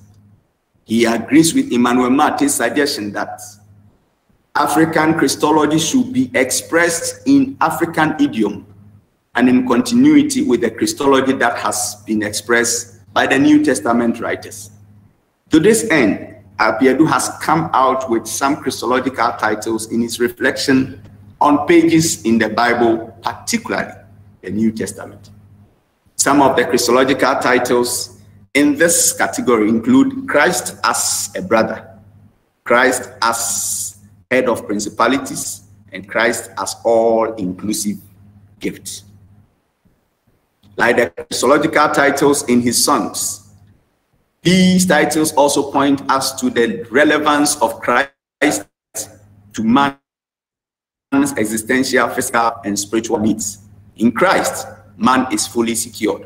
With his contribution, Appiah-Adu adds to the already African Christological titles such as healer, brother, chief of all chiefs, and more importantly, ancestor, of which Kwame Bediako is a great contributor. Through Appiah-Adu's meditation and literal study of the Bible, he is able to deepen his spirituality and receive spiritual songs and inspired messages out of which he theologizes and expresses the mind of God on issues affecting himself and the people he ministered to.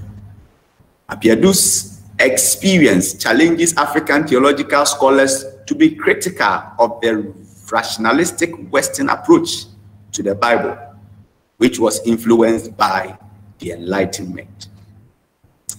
The Enlightenment, according to Andrew Walls, helped bracket out sections of the Bible that now appear to belong to an earlier age of God's dealings with humanity. This Enlightenment influenced pursuit of Christian theology is partly responsible for the recession of Christian presence in the modern West. Therefore, to be relevant to Christianity in Africa, African theologians should also consider the Bible as an important source in their expression of theology. The African theologians should also be interested in how Christians read and understand the Bible and how the understanding of the Bible inform their spirituality and theology. Finally, Appiah-Adu's prophetic ministry reminds us that the traditional academic way of doing theology urgently needs revision. His life and ministry further affirms the search for creative ways of theologizing in the global south where Christianity is growing in unprecedented pace. Apart from the critical and the scientific way of doing theology, Appiah-Adu is informing us to be equally mindful of lived experiences of the corporate church and the individual Christians as important ingredients in constructing authentic theology in Africa.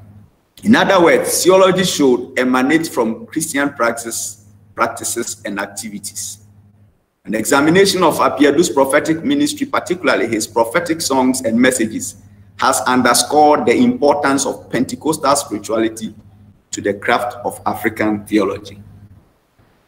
Pentecostal theologian Frank Macchia agrees Pentecostals have always favored testimonies choruses and prayers over intellectual or critical reflection as the means by which to interpret the gospel.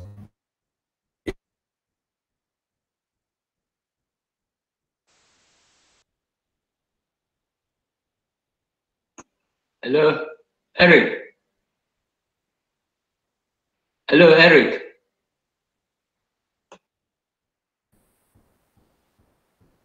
Hello, I can hear you. Yes. Yes. We're not hearing you. Wow. Can you hear me, sir? I can hear you now. Yes, I'm, I can hear you now. I think network challenges here, but I'll take that again. Pentecostal theologian Frank Macchia agrees Pentecostals have always favored testimonies, choruses, and prayers over intellectual or critical reflections as the means by which to interpret the gospel. If this is the case, then we should do African Pentecostal theology by taking Pentecostal songs, sermons, testimonies, and other practices seriously. We should also bear in mind that worship is very important source of theology. Appiah-Adu's contribution suggests to the African theologian that there are so many resources from Pentecostal grassroots as spirituality that can be used for constructing authentic African theology that has the potential of enriching and reviving world Christianity. Conclusion Appiah-Adu's prophetic ministry is characterized by a rich spirituality and theology that challenges African theological scholars to rethink the way they do theology. A theology that takes seriously the experiences of the African Christians. A theological reflection on the individual experiences of the Christian faith in Africa is crucially needed in our time. For it is one of the ways in which we can make an authentic contribution to African Christian spirituality and theology. I therefore submit that the religious experiences of the individual Christian is essential in our quest for an authentic African theology in the 21st century. The African theologians should critically examine the spirituality of the grassroots Christians as well as the lived corporate experiences of the various churches. This is particularly important because the individual spirituality is informed by the corporate spirituality and vice versa. And it is in the examination of these religious experiences, including the songs, sermons, testimonies, prayers, that we can discern their theology as it happened in the case of Appiah-Adu. What this means is that the African theological scholar should always work in partnership with his or her non-academic counterparts at the grassroots level and also among the pastor theologians who theologize every day through the pulpit ministry of the church. Thank you. Thank you so much, Eric. Thank you very, very much for some such. Very sorry for the interruptions. Yes. Thank you for your brilliant presentation. That has been so enriching. Unfortunately, you don't have questions to answer uh, according to the according to uh, our program. So I just want to say thank you. I don't know whether it was intentional or you just want to end it at this point. Um, but it's now time for me to make my closing remarks. And I just want to say that um, we've had some, some challenges. From the beginning, I was uh, not connected, so I couldn't hear from the beginning the, uh, the devotion. But I want to say thank you as I heard the tail end of what uh, Dr. Gazy was able to present.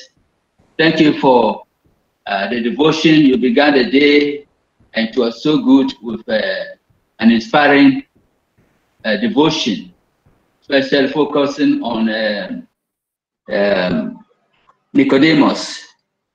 And um, at least we can learn from Nicodemus that he was humble, very courageous, and, and he was willing to go down and to learn. And I think when we want to do our biographies, we should have that humility and going down to to get the stories and to see the hand of God working.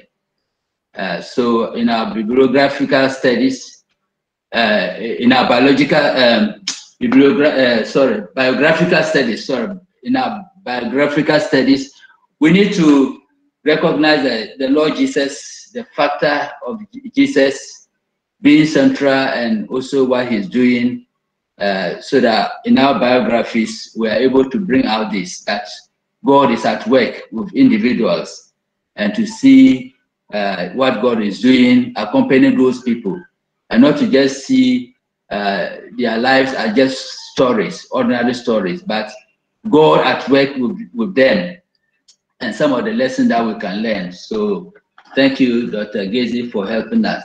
And then we took the fifth lecture that was delivered by Auntie Mary.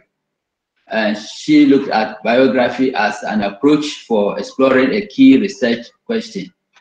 And she shared her experience uh, when she uh, wanted to do her studies, she it came to a point where she wanted a breakthrough, and not knowing the way to go, her supervisor, uh, Professor Walls, was able to guide her to come to study an individual, a person who really helped her to be able to get what that she wanted. That's uh, Robert Smith.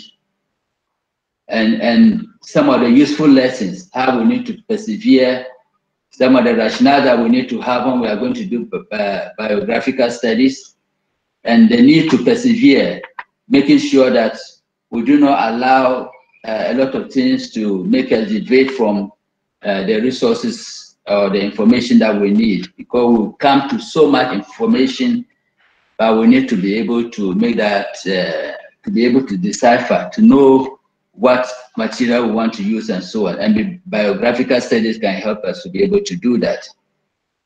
Then we also came to uh, Dr. James Walton, who was able to share in a very systematical way how he went about his study of um, individuals or African contribution to the growth of the church and looking at especially the lay persons.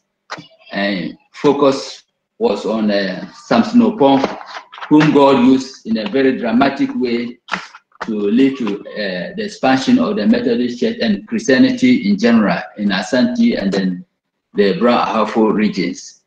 So um, he shared some things, very, very rich experiences, and how we need to be able to uh, look at our biographical studies, knowing that we are doing this from Christian perspective, being very uh, objective, um, looking at facts by interpreting and not forgetting this important truth that in Christian history, uh, we want to see the unfolding of God's will, God's working in, in with individuals, and how God um, God leads people and, and then the God, the grace of God at work in the end. Uh, unlike a secular um, you know, history that is more focused on just using rational reasoning to come to conclusions. In Christian history, we cannot forget the God factor and some of the moral lessons that these studies are supposed to help us to do. And Eric has helped us to see that uh, when most of the time we, most scholars, Western scholars tend to forget about the indigenous agency. That's the contribution of African indigenous persons. But uh, he has made us to see that if you want to really have authentic African theolo theology, African theologians cannot forget those are the grassroots. And, uh, and he used the person of Eric, uh, sorry, uh, Appiah-Adu, Reverend Appiah-Adu story to illustrate how his theology is enriching and some of the rich songs. This man has had a great impact, not only in the Church of Pentecost, but all over uh, the church in, in Ghana and beyond. His songs, his ministration, and all these things, his experiences.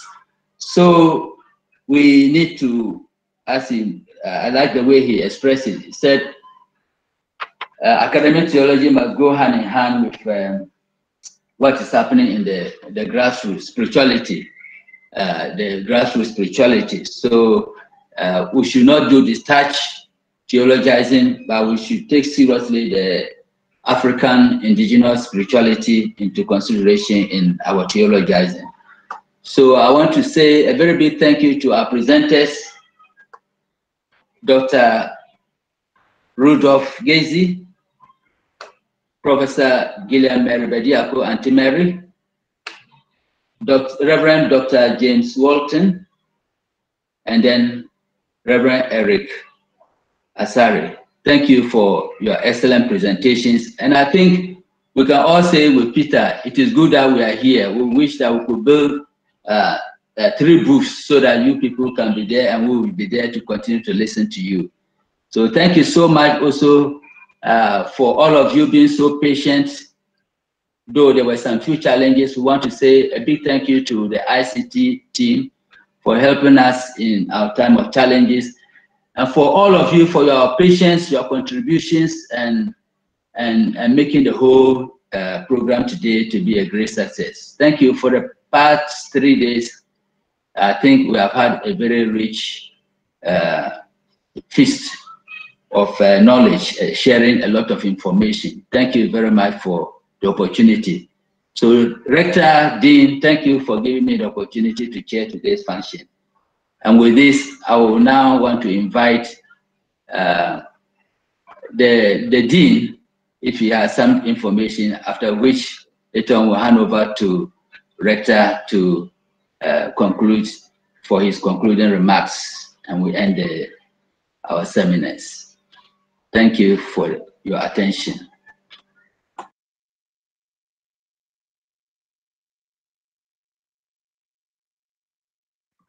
Is the dean there? Prof. Sly. Prof. Sly.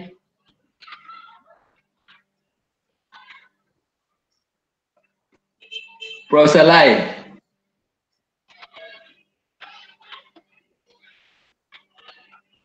Well, if he's not available, then we, we, we may as well proceed. Yeah.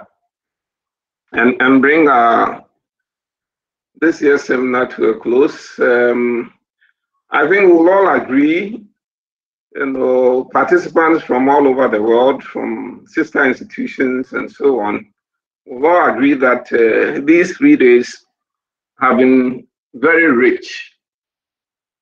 Rich in terms of devotions, presentations, and discussions. And it is therefore in order, following from what Dr. Sulisa has just said, to say thank you very much to all our resource persons, those who led the devotions, those who made the presentations, those who chaired the sessions, but also participants who have been very active in raising issues and contributing to discussions. On this note, it's important to take cognizance of the fact that I would have wished that our students would have been more involved in the discussions than, than they were. So we look forward to greater student involvement, contributions and questions uh, in subsequent uh, seminars. We have heard in these three days about the fundamentals we need to be able to research when it comes to biographies. The basics regard to history, biography, and the whole area of historiography. And beyond the basics, we have, through the presentations, come to appreciate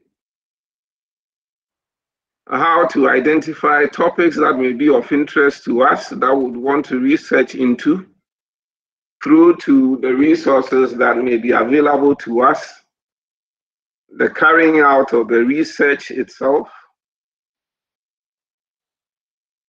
bringing our research to a good conclusion, all the presentations in one way or the other have been offering us guidance on aspects of this journey. But beyond that, we're privileged also to hear from Angus and Kayama about what we do with our research output when it comes to publication, how to transform our theses or dissertation, as the case may be, into material that can be published with specific targets in view. And we are thankful for that, and I'm sure knowledge from their sharing would inform how we proceed beyond our theses and dissertations. It is striking that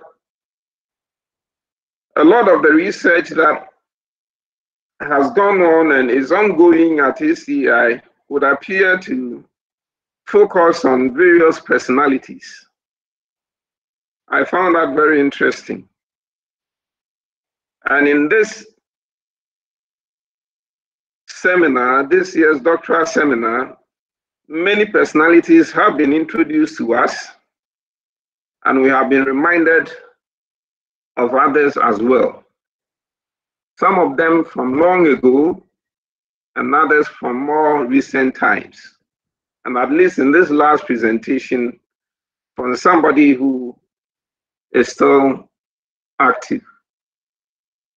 So in these presentations, we have encountered lay people, evangelists, prophets, ministers of the gospel, people we may describe as linguists, certainly theologians, and of course, uh, composers.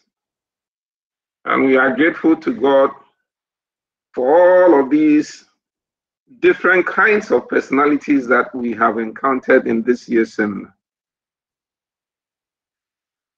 All of them, in one way or the other, remind us of our own lives and how we lead these lives in terms of what we may capture as our own life stories or what others may want to delve into with regard to the lives we lead at this time. Telling our own stories or having others tell the stories of our lives. But in these sessions, we have encountered a situation where we have had testimonies in the sense that in telling about others, some of our presenters have told their own stories, how they carry out the research work that they have shared with us. And for that, we are grateful to God. And I hope we would each be inspired by the stories we have heard. The need for us to persevere and not give up, to be detectives, people looking out for evidence and being in a position to weigh the evidence and place the right kind of weight on each piece of evidence. In all of these, I think one feature that has also become very clear is that God, as the God of the past, the present, and the future, is also the source of all knowledge, is the truth. And that none of us can pursue knowledge or the search for truth without God. Whether it's in terms of looking for a topic to work on, that may come to us through prayer or even dreams, or that moment of discovery that can be attributed only to God. Therefore, whatever research we pursue from these three days, I think we've been reminded of the fact that we must take account, account of God's rule in our search for knowledge and truth, and that we should proceed under the guidance of the Holy Spirit. So then, the lives we lead now, the lives that we may write about or others may write about because they see fit to do so, should be lives that can inspire others. And we can so inspire others only if we live consistently and constantly in the presence of God and under the guidance and enablement of His Holy Spirit. I hope that we have all been blessed in these three days. Yes, we should have dealt with these matters a year ago, but God, in His wisdom, brought us to this point and the blessings we have derived from our time together should lead us into saying thank you to God for his mercies. I wish you all the best, and God willing, we'll be able to meet again in a year's time for another doctoral seminar. Thank you, and God bless you. Now we'll have to take the closing prayer. I don't know whether the dean is now available. Uh, yes, uh, Rector. Uh, okay. Yes, sorry, I had to uh, step out uh, to deal with something. Yeah, just the announcement that I gave during the uh, break that the um, topic presentation uh, seminar has been postponed to the 31st of March, next week, Wednesday. So a new invitation link will be sent to both students and faculty. So you look out for that and also the time. Uh, the time uh, will be stated on it. So please bear this in mind. Thank you very much. Well, thank you also, Dean. Uh, may I throw open the invitation? And why is that we haven't heard? To say the closing prayer for us.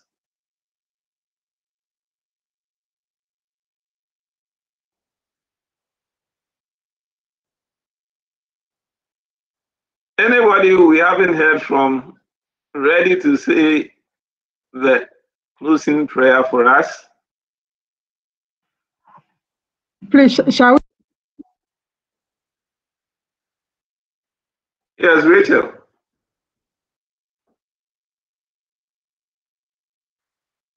I have a little problem with the. I'm not what I'm muted or. Yes, we can hear you now. Sorry. You, you are now muted again. Hello. Well, Rachel, you Hello. are now. So you okay, can Father, we thank you so much for thank you for the opportunity to hear the voices of these wonderful and excellent uh, presenters. From Monday, those who presented, we are grateful to you so much for their lives. We thank you for the faculty. We thank you for students alike and everyone that participated. We are grateful for the grace and strength you've given us to learn new things regarding our work. We pray that all those who presented, all the energy that are gone out of them, you replenish and you give them new ideas again. So when we meet again next year, by your grace and mercies, we'll be blessed by them again and all those who will be presenting next year, God willing. We pray that, Lord, the rest of the days ahead of us will be very grateful and then will be will go well with us. Those of us who are also preparing for our work, still researching those on the field and those who are yet to, we ask for grace, we ask for insight and illumination to be able to investigate rightly and come out to the right uh, research questions and ideas that will be a blessing to other people as well. We thank you for hearing us and we bless you in Jesus' name. Amen. Amen. Amen. Amen. Amen. Amen. Amen. Amen. Well, thank you all very much. Thank you. And God bless you all. God bless you too, Rector. Hey, Maureen. Bye bye. Professor Kashi. Thank you all. I'm grateful. Thank you for your concluding remarks. That was one lecture on its own. Hey, Maureen. I thought so. I thought so. I thought so. It's an article. I think it should Hey. be published. Thank you, our professor, our rector. God bless you, Papa. I, I am I'm leaving here in peace before Maureen continues. It was nice to hear you, though. Blessings on you. I thought I was the only one who, you, everyone. who thought that was the whole lecture that I had written long ago before today. Reverend Marcel, how's Cameroon? Oh, we are there. Oh, so, so, uh, Southern Cameroon still in trouble. but we Maureen, hope you are fine. Okay. Thank you. Please uh, greet greet your people. Yes, they will hear. And thanks, everybody. Yeah. Bye. Thank you so much. It was blessed seeing you again. I would like us to discuss backstage. I would like to hook up with you. Yes, I, I was so blessed to see you once again. I would like to hook up with you at uh, backstage so that we can chat Sure. something. yeah. Sure. Sure. Anytime. Uh, yeah. Thank you, Dr. Gazy and the IC team. ICT team, thank you so much. you made it all Yeah, possible. Thank you Yeah, yeah. very much. Rudolph, kudos. Thank you so much. The IC team has been wonderful. That's great. That's great. Yeah, Thank that's you, Maureen. God bless. So please greet your team, eh, all them, uh, Mark Williams and other people. If they are, if and uh, I think Adam is he still there? Thank Yeah, you all they so here. very much, so so very much. You can you can catch your breath now. Thank you. Thank you. Dr. Gacy, where will the recordings be?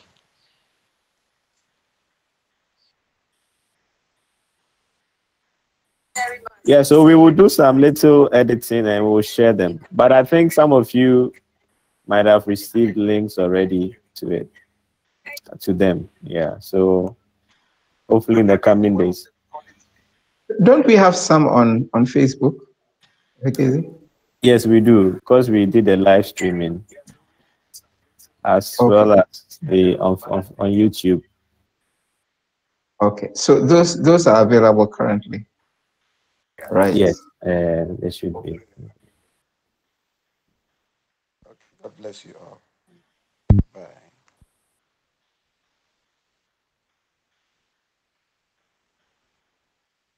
Reverend Dr. Blazu, are you there? Yes. Yeah, I I I I I, commented on you, but you did not respond. Today? Uh, on the chat, oh, Oh, sorry, I didn't see it. uh, I just asked the question about the detectives.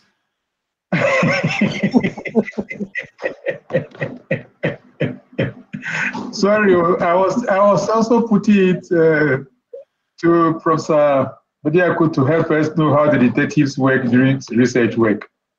Uh, you know, if people who come from my background, detectives were dangerous people in my, my growing up. So when she was talking, my mind was always on that thing. When you are caught up as be a detective in research work, what happens to you? That's right. But I think her explanation was okay, so that Oh, you